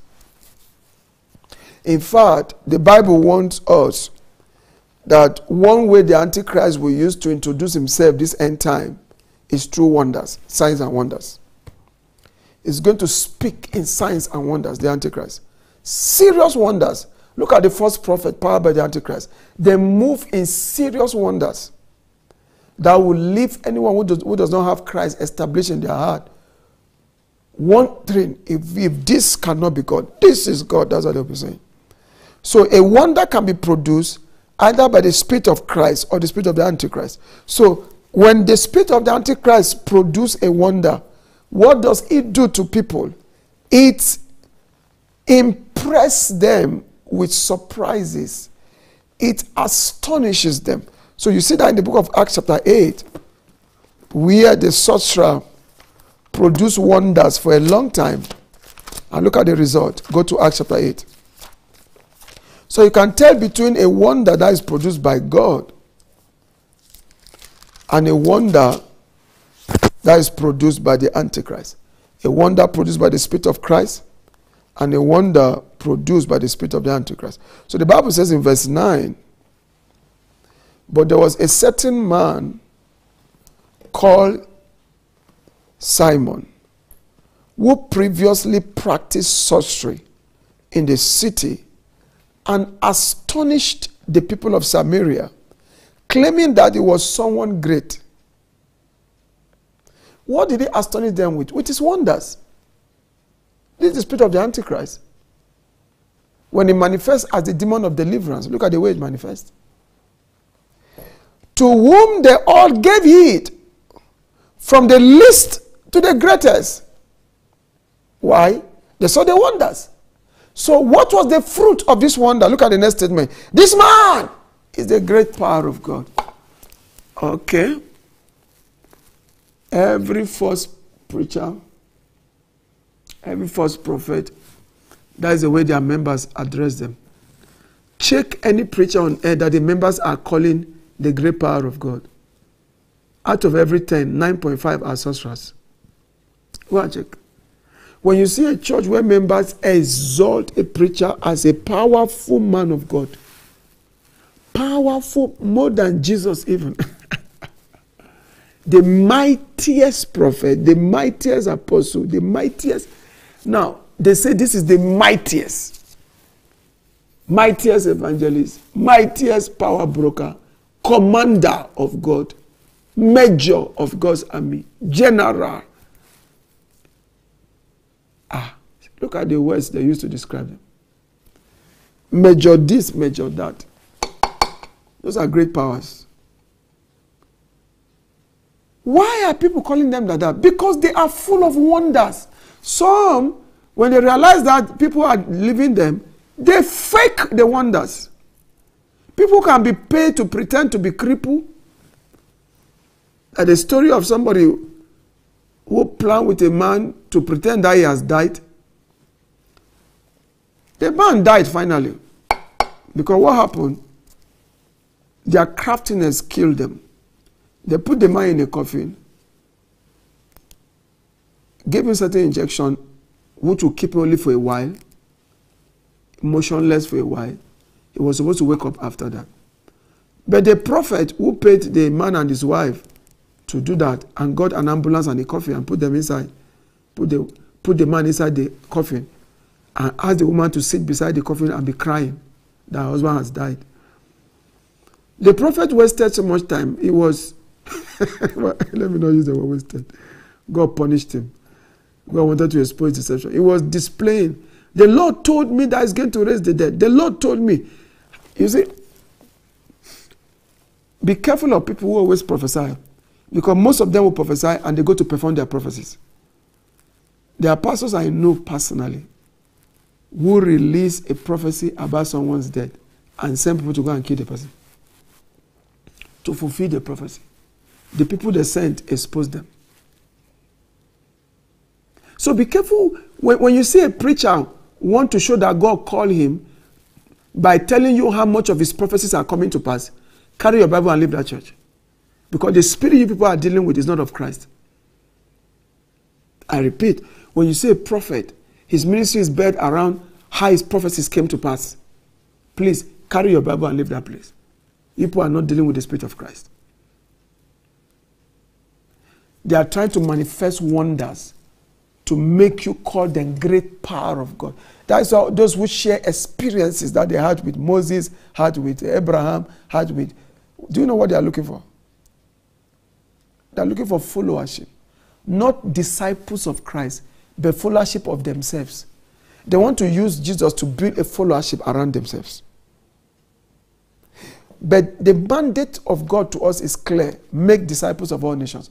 People should be followers of Christ, not followers of preachers. So look at what the Bible says here. They call, they say, this man is the great power of God. That means they saw him as the only powerful man of God in existence, which is very dangerous. Look at the next statement. And they heeded him. Why? because he has astonished them which is a sorcery for a long time. Now, they never knew, he didn't come and say, I'm a sorcerer. He didn't come and say, I'm using sorcery. No, he came and demonstrated wonders. One of the wonders, the last wonder that killed this man from, from the history I read, Simon the sorcerer. Look at what he was doing. When, wherever uh, Peter want to go and hold a meeting, let's say Peter is coming to Nairobi to hold a meeting. Simon the sorcerer will also come to Nairobi. So this guy kept following Peter side by side to like to like neutralize what Peter was doing. So there was this day Peter was to go to this city. Samuel the sorcerer went ahead of him. So people, people gathered around him and he was demonstrating. He was walking in the air. Those are the wonders. He projected himself with the power of the wicked one and he went up into the sky as if he was ascending into heaven. And he stood there and was talking to the people down. They were hailing him, hey, hey, hey, everybody, hey, hey. And Peter came like this. And look at him. And I say, now, I command you in the name of Jesus to fall. The guy fell and died. so the wonder of Peter superseded their own wonders. That's the way the man was killed. A man who could project himself into the air, you should know how powerful he was. No wonder they call him great power of God. He did a lot of wonders. Can I tell you something? There is no false prophet who has really met the devil that will not do wonders. And they know what to do. They know how to make it look like God to your side.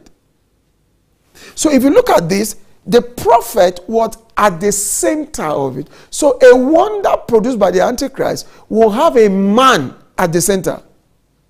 The man will be the object of worship. He is the papa. Nobody else talk. He is the one that you must lie down on before you. You don't stand while talking to you. You must lie down. You must. You don't appear before him empty-handed. A whole lot of stuff. They will wear some simple clothes because you think that they are simple. They are not. They are very complicated. are you understanding me? Listen the wonder of Simon the sorcerer made him the object of worship. The wonder of God will promote the worship of the one and only true God, the wonder of God. It promotes the worship of the one and only true God.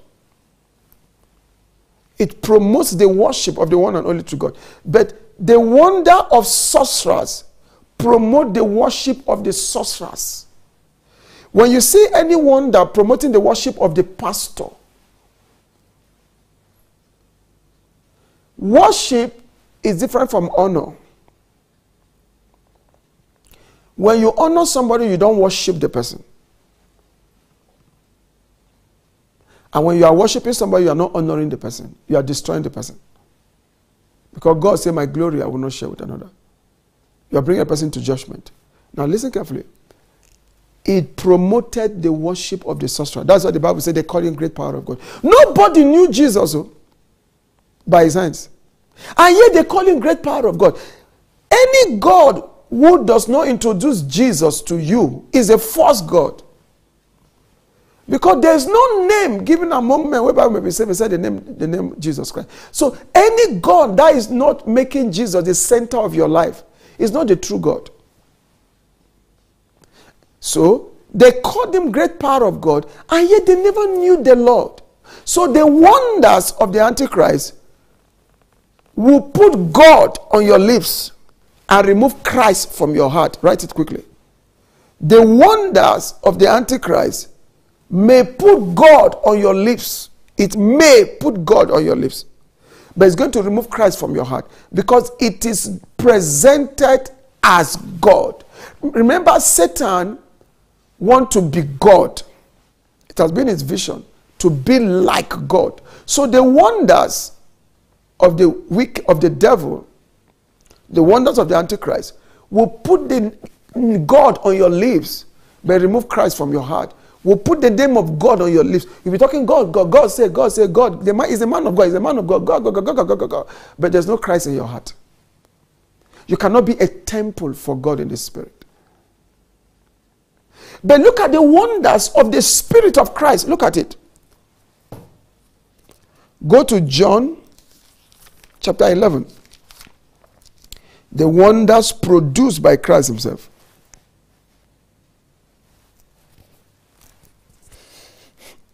John chapter 11, verse 32.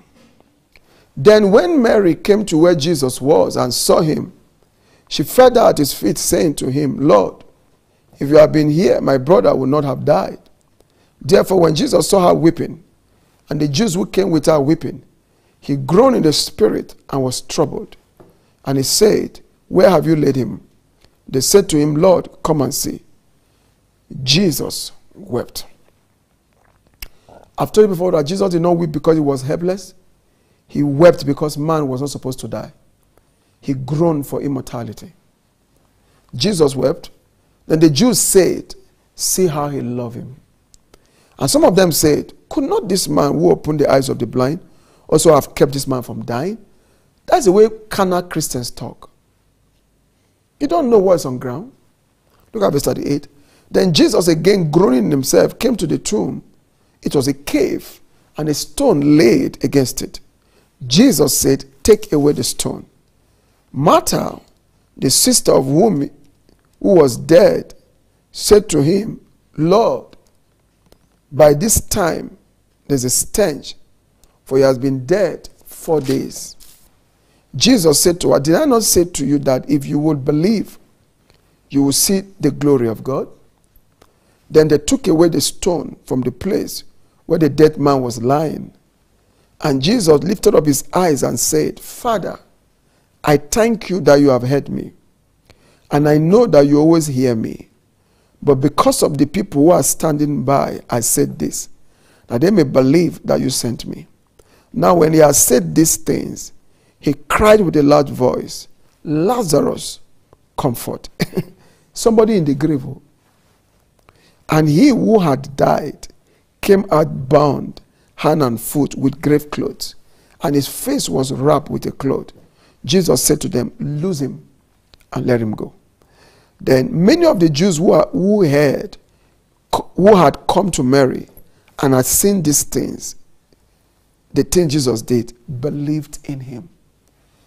Are the wonders making people to experience salvation by encounter? I'm not talking about salvation by recitation of sinner's prayer. No. Are they encountering the Lord personally? are the that's making them experience the resurrected Jesus? If the answer is no, you guys are under the that's produced by the spirit of the Antichrist. Sadly speaking, we can give you names of preachers on this planet Earth whose ministries are wonders produced by the spirit of the Antichrist. But if you have the spirit of Christ in you, you even know them. We don't even need to mention their name. You know them. Scattered across Africa, especially. Producing wonders by the spirit of the Antichrist. Making themselves the center of worship. The picture is on this bottle of oil. The picture is in this T-shirt. Picture is on the wall here. Picture is here. Where there's no picture, his name is Papa, Papa, Papa. When you when you when you hear it, you even feel more afraid than when you're standing before God. Now, do not forget, hmm, my time, that one of the major things we are going to face in this generation are wonders coming out of the fountain of the Antichrist. To do one thing, to neutralize the worship of the one and only true God. The wonders of the Antichrist is to resist the worship of the one and only true God, is to take men away from him. Now, do you know why Baal succeeded in, Egypt, in, uh, in, in Israel? Jezebel was married. She was the daughter of Ethbaal. In another word, she was the princess of that kingdom, the kingdom of Baal. So when she was when she married into the palace of the king, where the seat of Christ was, she establish her dominion over the whole of Israel and produce wonders. Before you see prophets of God resigning and joining her prophetic ministry, they saw wonders. She gave them rain. She made their crops to grow. If you don't read history, you understand the power of those scriptures. She made their crops to grow. Before you see Ahab listening to her, Ahab saw wonders in the palace. Jezebel will stand like this. She will do her hand like this. A cup, a cup will leave, will leave her room. She will sit on the throne. She want to drink water. She, she won't send anybody. She will just do like this. Cup will leave the chef and come and meet her. And she will carry water without touching the jug. Pour water inside and drink. And Ahab saw like this. And Hi. That was how everybody. They began to call her she became very powerful. Listen carefully. Israel accepted Baal because Baal solved their earthly problem. The wonders of the Antichrist is to solve your earthly problems so that you become blind to your eternal problems.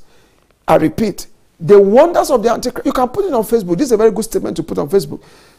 Those of you who want to put, I've told you before. Don't go and put nonsense. The wonders of the Antichrist.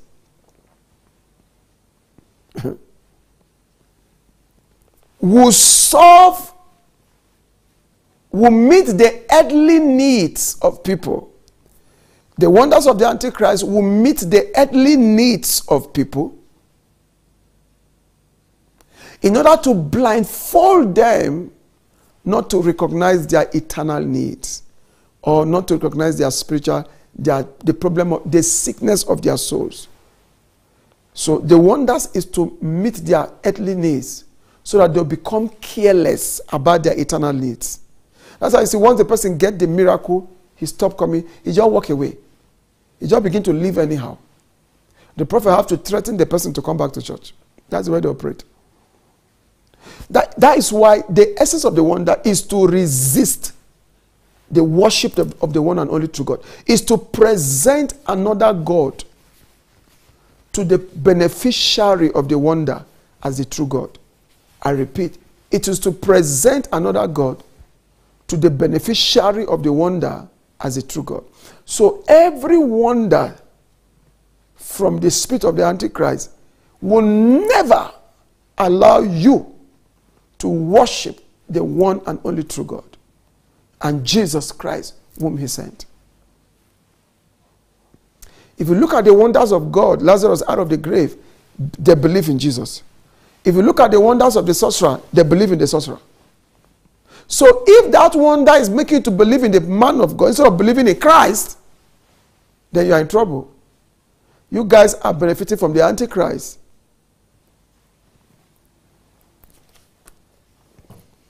That is why in our dispensation, God will prefer giving us a word than a wonder.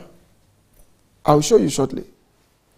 In our dispensation, God will prefer giving us a word than a wonder. Oh, yes. In previous dispensation, he, he measured on wonders because the Holy Spirit have not been given. People were too blind, so they had to receive. But in our dispensation, you prefer giving us a word than a wonder. He could send a wonder in a place where they don't, where they will not listen to the word, in order to make them listen to the word. Like I told you what happened to my spiritual father. He went there, God performed his wonders, and the people now were ready for the word. He now came and carried his church members, and they went there and preached to the people.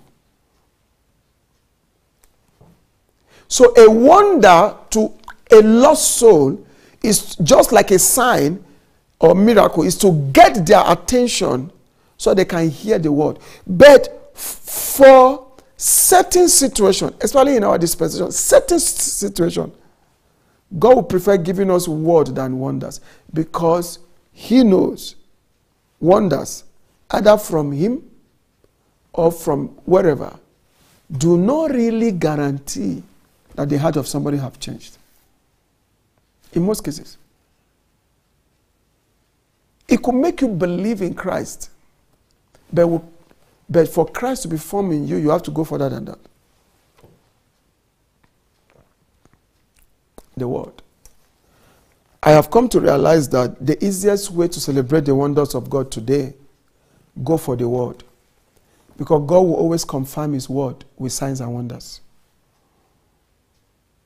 So in our dispensation, God will send his word to us, then confirm it with signs and wonders. He will not send signs and wonders to you, then confirm it with his word. he will send his word to us, confirm it with that is how to protect us from the antichrist, from deception, from false doctrine. I'm closing, give me your attention. Will protect us from deception, protect us from false doctrine, protect us from the works of the Antichrist. So he will send word to us, then confirm that word with signs and wonders in our life. I prefer laying hold on his word so that you'll be confirming his word in my life with signs and wonders than pursuing for his wonders without laying hold on his word. Because when you pursue his wonders without laying hold on his word, you could end up with the Antichrist or he may give you his wonders, but he will not commit himself to you. Jesus will only commit himself to people who are looking for sound doctrine, word seekers, who are looking for his word, sound doctrine, a word that he can confirm with signs and wonders. That is why today, if you build your life around the word of the Lord, your life will never lack signs and wonders. Because there will always be something in your life for God to confirm with signs and wonders. Build your life around the Word of God. Build your life around the will of God. Build your life around the purpose of God for your life. Do not listen to the noise around you. Just build your life around the purpose of God for your life. He's going to conf- he will find something to confirm with signs and wonders. Let me show you something, then we pray. John chapter 2. John chapter 2. Verse 23.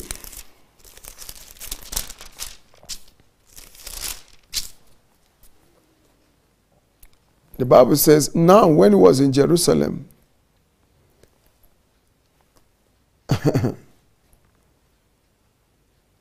when he was in Jerusalem at the Passover, during the feast, many believed in his name when they saw the signs which he did. They were amazed at those signs. I told you a sign can be a wonder. Verse 24. But Jesus did not commit himself to them hmm. because he knew all men. And he had no need that anyone should testify of man, for he knew what was in man. He did not commit himself. Let me take you to another scripture that explains this one properly. Go to the book of John, chapter 6. He did not commit himself. Oh. They have experienced wonders, but they were not interested in the word. Second Thessalonians tell, uh, Thessalonians tell us, tell us if you are not interested in truth, but you are interested in wonders, God will send you strange, strong delusions. God will be the one to really, the Bible says, strong delusion to those who do not who do not love the truth. You see, be a Christian who love the truth. Because God will always confirm His word with signs and wonders. Look for what God will confirm with signs and wonders and follow it and pursue it. Don't pursue signs and wonders. If you pursue signs and wonders this day, you will end up in the pocket of the Antichrist. Pursue the word. Look for preachers who have the word, sound doctrine, and build your life around sound doctrine. You and watch God confirming that sound doctrine with amazing wonders in your life. That's how to work in wonders. I hope you have gotten the understanding. Remember, I said we are giving understanding. So look at John chapter 6. It gave us another scenario of things for us to understand why Jesus did not commit himself to these people. John 6, verse 1. After these things, Jesus went over the Sea of Galilee, which is the Sea of uh, Tiberias. Then a great multitude followed him because they saw his signs which he performed on those who were diseased. And Jesus went up on the mountain, and there he sat with his disciples. You know, Jesus most time was not standing to preach the way me I'm standing. He sits down. So maybe I will start sitting down. Sorry, it's a joke. Now, the Passover, because do you know where we pastors took standing up from? I will show you it's in the Bible. the season you stand, the season you sit. It's in the Bible. I will show you in the days to come. Now, the Passover, a feast of the Jews, was near. Then Jesus lifted up his eyes and seeing a great multitude coming towards him, he said to Philip, Where shall we where shall we buy bread that this may eat? But this but this he said t- to test them, for he himself knew what he would do. Philip answered him, 200 denarii worth of bread is not sufficient for them, that every one of them may have a little. One of the disciples, Andrew, Simon Peter's brother, said to him, There's a lad here who has five belly loaves and two small fishes. But what are there among so many? Then Jesus said, Make the people sit down. Now there was much grass in the place, so the men sat down in number about 5,000. They didn't count women, they didn't count children, they counted only men. That tells you that there should be more than 12,000 people. In fact, I met a Bible scholar who said there were 25,000 because he, he did calculation. He said, let's assume one man have one wife, four children, some, you know, and you calculate everything. So some, some say it was 25,000 people. Some say 20, some say 15, based on their calculation. But obviously it was more than 5,000 because they counted only men. The Bible says, and Jesus took the loaves and when he had given thanks, he distributed them to his disciples, and the disciples to those sitting down, and likewise the fish as much as they wanted. So when they were filled, he said to the disciples, Gather up the fragments that remain so that nothing is lost. This is called wonder. This is a wonder. Therefore, they gathered them up and filled 12 baskets with the fragments of the five belly loaves, which were left over by those who had eaten it. In the days to come, we'll look at the mystery behind the 12 baskets, behind the two fishes, behind, behind the five loaves of bread, and behind the gathering. We'll look at it in the days to come. Then those men whom had seen the signs, listen to this, that Jesus did, said, This truly, this is truly the prophet who is to come into the world. Now, here's the problem Jesus was not a prophet, he was more than a prophet. All the miracles he was doing was for them to catch the revelation of his deity. But they could not. So calling him a prophet, you are still wrong. Now, here's the point. Let me tell you why God don't really trust wonders to change people up every time. That's how you see he drops them. He drops them. You get my point? Why God will not send wonder ahead, especially for us believers? He first of all send his word before his wonders. Is because you guarantee the performance of his wonders in your life if you build your life around his word, around his will, and around his ways. That apart. But look at these guys. For the days they sat with the Lord, I don't think they heard what he was saying or they accepted it. Look at it, they got the miracle. And they said, This is the great prophet that was to come into the world. In their mind, there's a Messiah coming, which, who is coming to be king and conquer the Roman government and deliver them from the Roman slavery. So when Jesus now fed them, they now fed, Oh, this is the prophet. He did not commit himself to them.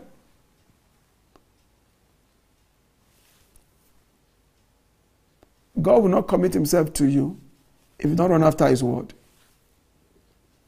If you want the wonders of God to break forth in your life, stay around things in his kingdom that God confirm with signs and wonders. And when we come back tomorrow, uh, that's where I will start from. So let me just write it here in the board. Things in God's kingdom that are confirmed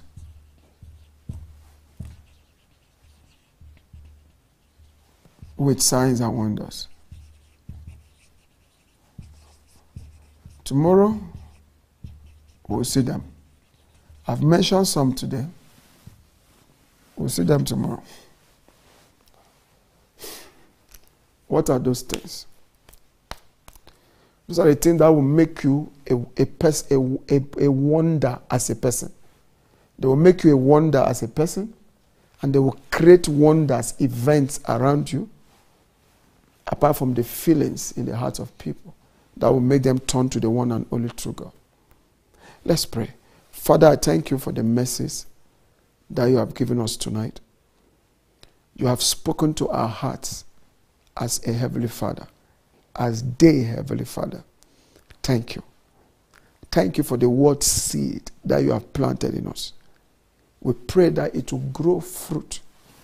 It will grow and bear fruit. And bring us to the place of celebrating your wonder.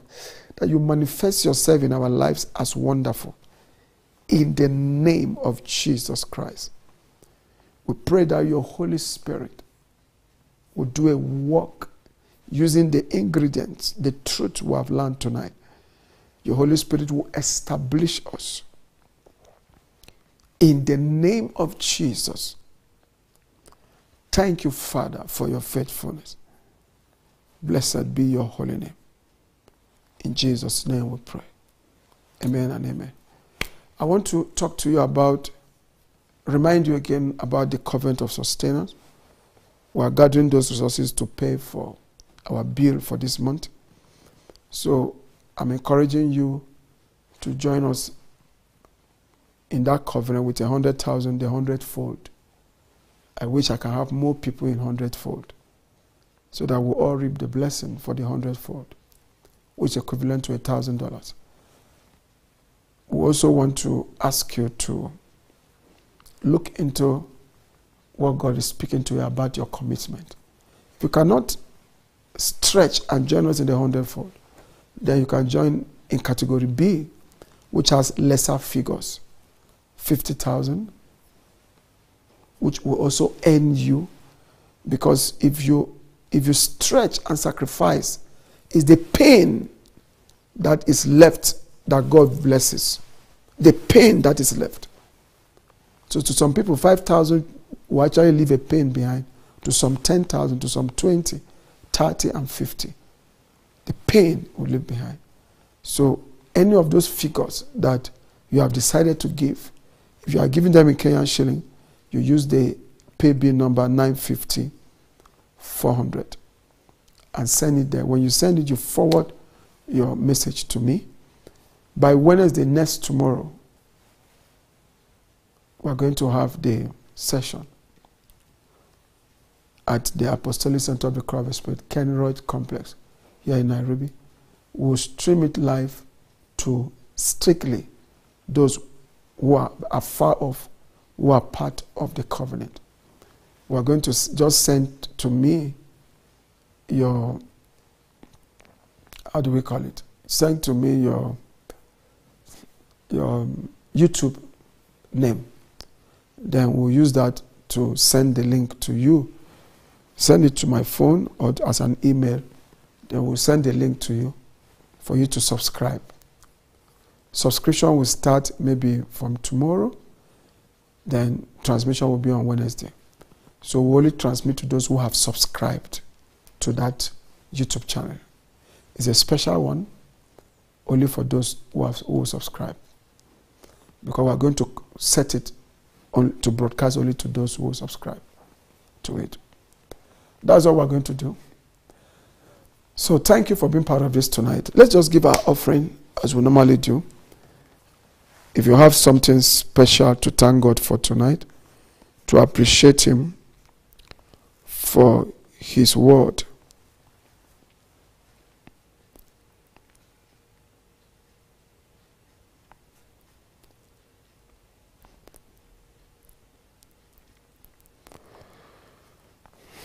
For His word.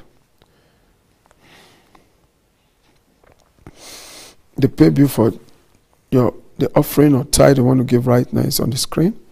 So let's just worship God with our substance. You are God from beginning to the end. There's no place for argument. You are God all by yourself. You are God from beginning to the end. There's no place for argument. You are God all by yourself. You are God from beginning to the end. There's no place for argument. You are God all by yourself. Let me pray for us. Father, thank you for the mercy you have given us to worship with our substance, with our tithes, with our offerings. Tonight we pray, O oh God, that the rain of your presence will fall upon our lives more and more and gather every financial resources we need to clear our personal bills to come out of debt, to come out of any financial situation. In the name of Jesus, I pray for the jobless that you give them jobs. I pray for financial favors to be upon those that may be toiling to the glory of your name. Lord, in the name of Jesus. Thank you, Father, for ministering to us tonight. Thank you for the wonders you have already released into our lives. I pray that it finds they find a resting place in our lives, O oh God, and sits in every part of our destinies. Blessed be your holy name. In Jesus' name we pray. Amen and amen.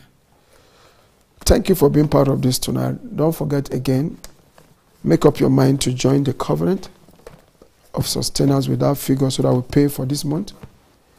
Then we see if we can, so that by Wednesday we meet where we'll be ministered to. And um, our meeting, the meeting starts 5 p.m. on Wednesday. Tomorrow I'll talk about it again.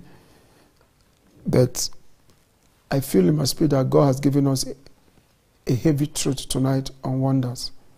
We have things to go and chew. Tomorrow, when I come back from, by 8.30 p.m., we will have the part two or day 14 of the school. Then we skip Wednesday because of the administration in church. Then Thursday we continue. with day 15 because this teaching will try and finish it up. Until then, stay strong and do not forget that Jesus is coming soon. Amen.